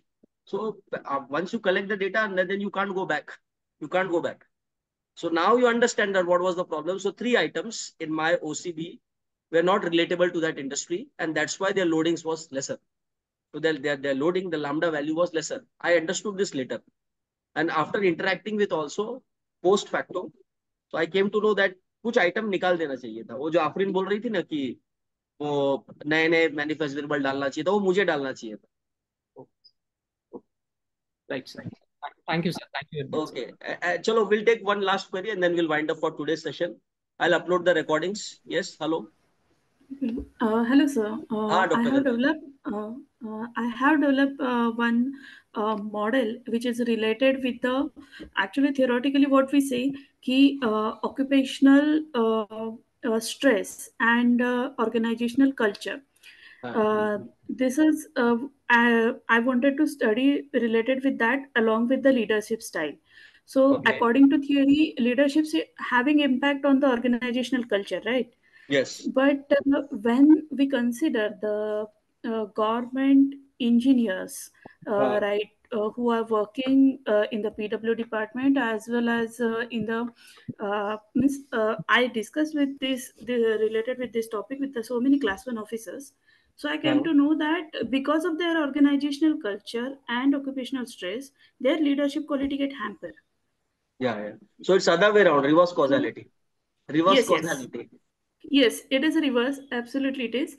Uh, so um, I thought that ki, uh, we should develop such a model that in uh, at the time of recruitment, we came to know that if uh, because of all such parameters, if uh, at the time of recruitment, if we come to know that whether the person who is giving the interview uh, is able to bear that particular stress and there will not be change in a leadership quality while time being because of the organizational No, culture first, see, first of all, Dr. Gandhali, you know, there is no standard technique available to measure a stress level in somebody's interview. You can't measure. You see, uh, there is always a type 1 and type 2 error in recruitment. Either a wrong person will be selected or a right person would be rejected. So first of all, it's a very tall claim to make that uh, if you stress test a person in the interview stage, then later the person is not going to withstand stress and is going to impact culture. It's a very tall claim to make. Very, you know, very IPS officers they they commit suicide. IS officers commit suicide. Don't you think they, they, they have withstood so much of stress in their preparatory stages? No, uh, things doesn't work this way, Dr. Gandhali. But again, no, forget about models. Try to find out. Uh, actually, uh, there is one uh, uh, Fred Fiedler model in OB just explore. Uh, Dr. Gandhali. there is one uh, yes, textbook. I'm noting down, sir. Uh, so uh, there is one standard textbook in OB by Stephen Robbins. In that, there is a chapter yes. on leadership. And in that, there is one leader by Fred Fiedler. I say kuch theory hai. Just check in Stephen Robinson's book. And he is not talking about any model. He simply says under which circumstances a person is going to be successful. Okay, he has decided some matrix. See, first of all, no, mm -hmm Uh, again, I'm a very strong critic of SEM. I'm very strong, though I'm teaching SEM because this is what the where the market is. But I'm a very strong critic of SEM. SEM is nothing but finding correlation between the constructs. मेरे हिसाब से. And I'm very strongly against SEM. The, uh, again, it's a uh, people will criticize me, but uh, I, I am per se SEM ठीक है. मतलब कुछ नया बोलो तो SEM use करो. When you're finding correlation between psychological capital OI and OC, वो सब जानते हैं आपने क्या नया बोला है. You have not spoken anything new. There is no novelty. But Okay, if you read this Fred Fiedler's research on leadership, उसने कुछ अलग बोला है. उसने बताया कि कब लीडर को लेवरेज मिलता है कब लीडर को लेवरेज नहीं मिलता है you see in aided institution in government job leader की ज़्यादा नहीं चलती है प्राइवेट में लीडर की बहुत ज़्यादा चलती है क्योंकि प्राइवेट में कॉन्टेक्ट सपोर्ट करता है पब्लिक में कॉन्टेक्ट नहीं सपोर्ट करता है है ना?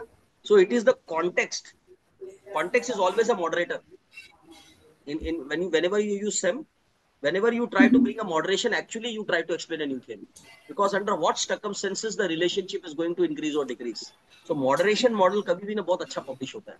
क्योंकि वहाँ पर आप एक बाउंड्री कंडीशन बताते हो कि किस सिचुएशन में लीडर्स और कल्चर का रिलेशनशिप इंटैक्ट होगा।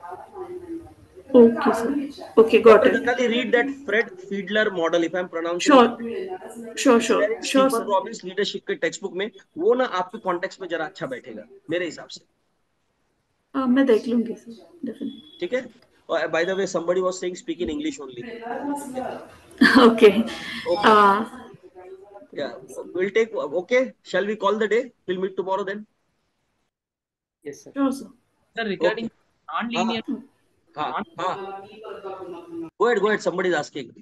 Uh, uh, most of the natural uh, phenomena or uh, in nature's phenomena in social science, it is non-linear only. Is there any uh, uh, technique or application for uh, measuring that, sir? yes it is there in of PLS-SEM. yes it is there in PLS SEM and apart from PLS SEM there are non-linear models which you should run. In fact econometrics may people use non-linear models there are there are non-linear models available in PLS SEM we will check whether there is linearity or whether there is non-linearity we'll check Thank you, sir. Thank you very much, sir. okay hope to see you soon uh, let let's meet tomorrow then there are three chats and thank you thank you Okay, okay. Thank you, sir. Chalo, recording you'll get it, huh? Okay, bye all of you. Okay. Let us meet Bye tomorrow. bye. Good night. sir. Thank you, sir. Good night, good night.